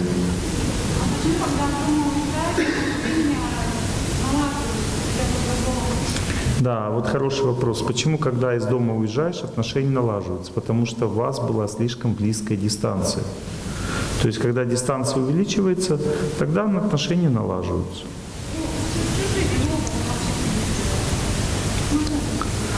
Всегда, когда отношения плохие, ты уезжаешь. Вот смотрите, хорошо, еще раз объясню. Вот смотрите, вы под отношениями понимаете беседу, а отношения находятся в сердце. Вот если человек уезжает откуда-то, то беседа прекращается. Люди не могут беседовать, то есть общение идет там через переписку, через э, всякие э, мессенджеры. Вот. И это общение какое? Имеет поверхностную природу, не глубокую. Поэтому люди не травмируют друг друга. Отношения между людьми находятся глубоко в сердце. Запомните это. И для того, чтобы поменять отношения, нужна молитва. Три стадии изменения отношений. Первое, в своем сердце человек молится, отношения к человеку очищаются, ему спокойно по отношению к человеку становится. Вторая стадия, он молится, и потом ему легко с ним общаться, разговаривать. Третья стадия, изменение происходит уже внутри этого человека. Когда люди разъезжаются, то они не оскверняют отношения, если они испорчены. И поэтому они налаживаются. Но если вы даже не уезжаете, а начнете молиться, то у вас они и так наладятся, потому что отношения находятся в сердце, и исправлять их надо молитвой, а не словами. Бывает такая стадия отношений, что ты не исправишь словами вообще, потому что отношения накалены для, до предела. И поэтому разговаривать вообще не надо. Некоторые люди думают, я не разговариваю с человеком, значит, я предаю его. Нет. Надо понять, что нужна молитва в этой случае, а не беседы. Ну, то есть отношения могут налаживаться, потому что они не скверняются. Вы уехали куда-то откуда-то, и отношения лучше стали. А? Что? Ну, давайте микрофон, я не могу так общаться, мне нужно слышать человека.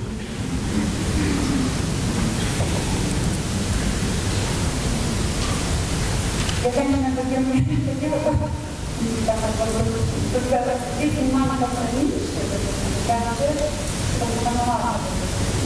Внимание, когда меньше. Называется дистанция. Меньше внимания означает дистанция. Увеличение дистанции.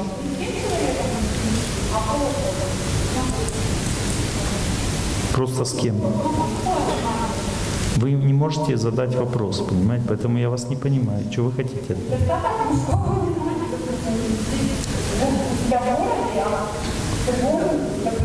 А, то есть у вас здесь недостаток ну, мужского внимания, а когда вы приезжаете в другой город, в какой? В какой город? Какой конкретно город? А? А, я понял, о чем вы. Сейчас я вам расскажу, почему в поезде больше на вас смотрят. Да, да, да, да, да, да, да, да, да. Вот смотрите, запомните, знакомство всегда означает что-то другое, понимаете? Вот, допустим, вот познакомиться у себя во дворе невозможно, надо в чужой идти, в другой двор. И там, так как ты, тебя, ну, парни же знают местных девушек, они все, понятно, плохие. Но когда девушка приходит из соседнего двора, ее же не знают парни. И она хорошая, понимаете? И есть еще эффект неожиданности. Девушка, когда она, не, ну, когда парень, допустим, незнакомый, она на него выбрасывает определенную дозу красоты сразу. Бьет ему по, голове, по башке красотой. И он такой, вау, летящей походкой. Это эффект неожиданности, понимаете? Он сильно помогает женщинам знакомиться.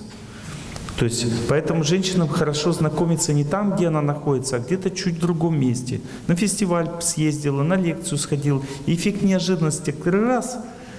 И он такой, вау, вот она. Понимаете, потому что мужчина в женщине видит ангела.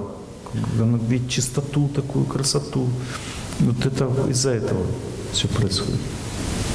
Ну, в поезде тоже люди едут, они же чужие, вот, и, как бы, и, вау.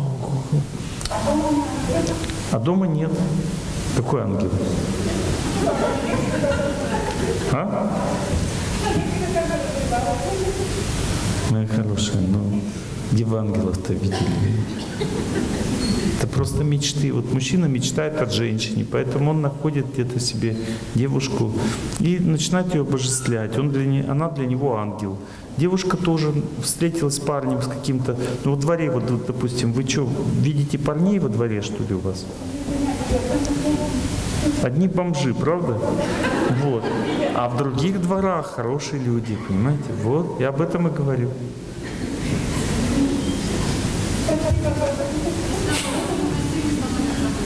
А?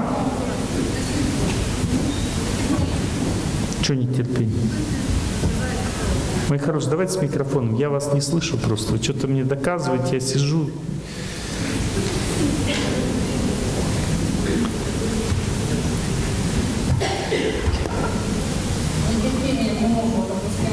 Нетерпение к мужу. Стоп, стоп, стоп, стоп, стоп, стоп, стоп. Стоп. Поднимите руку женщины, которые у которых нет, вообще не бывает нетерпения к мужу. Вау! Ну-ка дайте микрофон. Вот той же девушке дайте, вон в красном. Просто мне интересно. А, Я только один вопрос ей задам, только один вопрос. Вот девушка в красном, вот, вот в красном, она с мужем сидит. Вот, только один вопрос. Сколько живете вместе? Все понятно. Микрофончик забирайте, все. Все еще впереди. Вы мне можете не верить. Правильно. К вам вопрос. Скажите, вы, если, например, я могу отдыхать дома, да, чай пить, просто там с родственниками посидеть, а мужу надо выпить, вот как вы в этой ситуации? Он говорит, я не могу Марина, не могу. А вы его терпите так хорошо. Молодец. Все. Но не может, он устает вот с работы и не может пока научиться по-другому отдыхать как-то. Вы же не мужчина. Вы не знаете, что мужчина, он не имеет так много эне- энергии любви, которая расслабляет человека, как женщина. Поэтому мужчина, он пытается этой энергией как-то искусственно напитаться. Или он с помощью духовной практики это делает, или с помощью спиртного. Понимаете, женщина, она сама соткана из люб- любви, поэтому ей выпивать не надо в целом. Что делать женщине тогда? Принять вот такую ситуацию. Вот то же самое, что мужчине делать, когда кто кричит. Дайте ей микрофон. Чего вы начали кричать-то? Руки не поднимаете. Давайте микрофон. Я, наверное, слишком добрым стал, да? Дистанция сократилась. Надо увеличивать. У меня к вам один вопрос. Вопрос один у вас. Садитесь. Вот смотрите, где мне взять силы на вас? Вы же даже не можете вытерпеть, чтобы поднять ручку и спросить. Представляете, у вас какие желания сильные. Представляете? И вот это все на вашего мужа валится. Вы что позавчера хотели-то от него? Что скандал-то начался? Расскажите мне. А? А я помню. Скандал-то был же позавчера? Нет, позавчера был сильный скандал вечером, второй половине дня. Знаете почему? Потому что вы что-то сильно хотели от него. Вспомнили? А? Всегда так. Что ему остается? Исправляете своими желаниями? Конечно, страдает.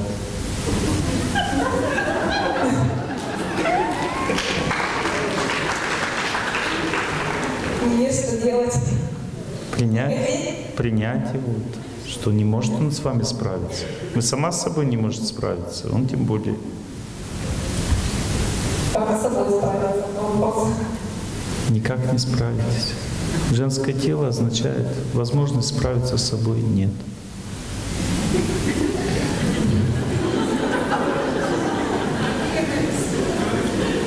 Поэтому и замуж вышла, что сама не справляется. И на мужа все сваливаетесь, а он тоже не справляется, выпивает. Как принять? Ну примите. А что делать? Понимаете, все люди живые, не- нет, сил не хватает у мужчин. Так и жить, развиваться, постепенно вы разовьетесь, он разовьется. От вас счастье будет больше идти, его расслабит, перестанет пить.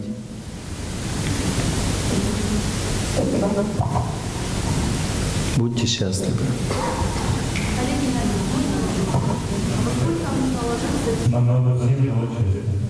Пора уже, да, уже время заканчивать. Ну ладно. Все, мои хорошие. Давайте сейчас после лекции мы с вами поговорим. Я цветочки раздам потом. Мгм. Все сели прямо. Сейчас будем, тренинг у нас будет. Все, будем желать всем счастья.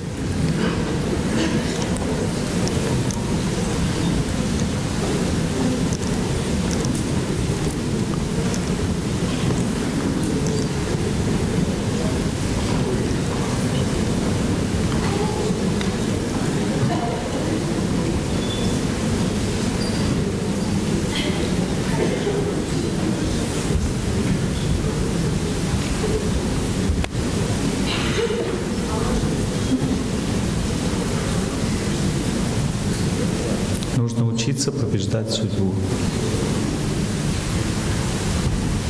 Для этого нужно слушать тех, кто молится, и вместе с ними, как они, повторять очень сильно, настраиваться на этот звук. Постепенно судьба будет отступать. Судьба побеждается звуком, связанным с Богом, связанным с памятью о Боге.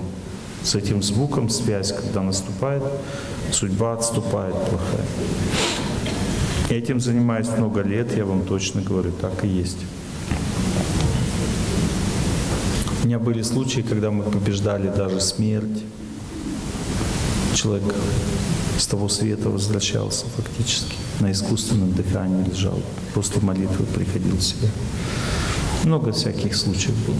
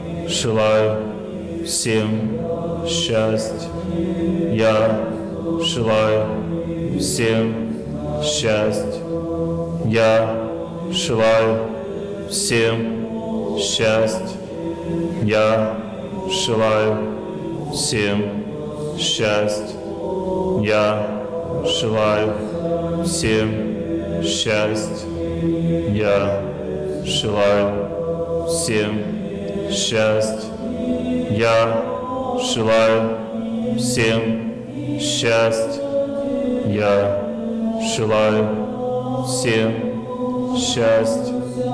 Я желаю всем счастья. Я желаю всем счастья.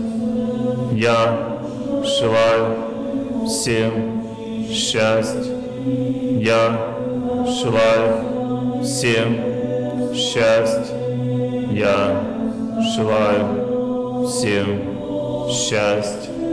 Я желаю всем счастья. Я желаю всем счастья. Я желаю всем счастья. Я желаю всем счастья. Я желаю всем счастья. Я желаю всем счастья. Я желаю всем счастья. Желаю всем счастья. Я желаю всем счастья. Я желаю всем счастья. Я желаю всем счастья. Я желаю всем счастья. Я желаю всем счастья. Я желаю всем счастья. Я желаю всем счастья. Я желаю всем счастья. Я желаю всем счастья. Я желаю всем счастья. Я желаю всем счастья. Я желаю всем счастья. Я желаю всем счастья. Я желаю всем счастья. Я желаю всем счастья. Я желаю всем счастья. Я желаю всем счастья. Я желаю всем счастья. Я желаю всем счастья.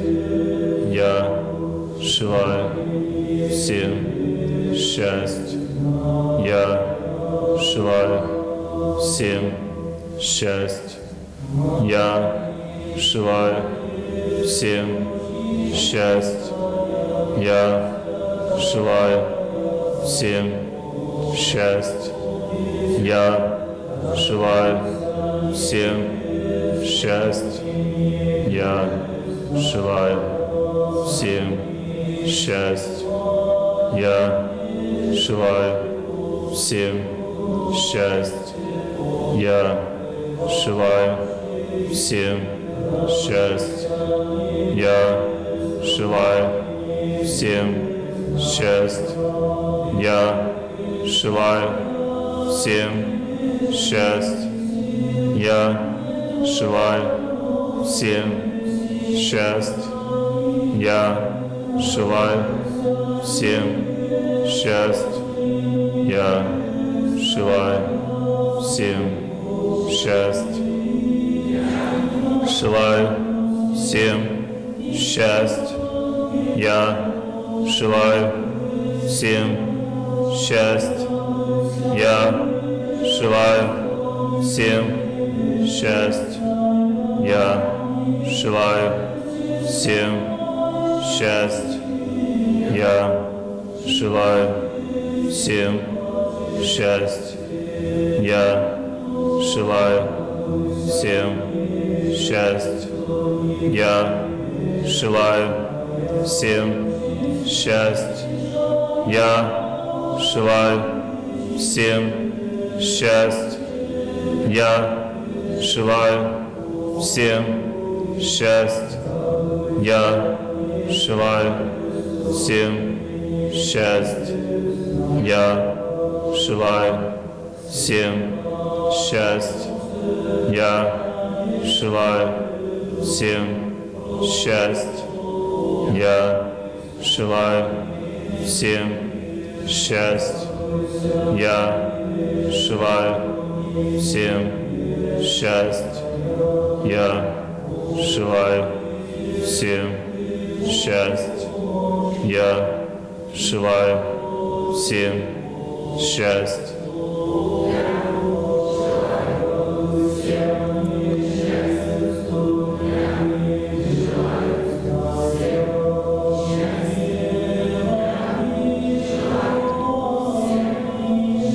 Спасибо вам большое. Я желаю вам всем счастья, любви, знаний. Всего самого светлого в вашей жизни. Я очень благодарен вам за то, что вы пришли ко мне на эту встречу, за то, что вы терпели меня три часа. Спасибо вам большое.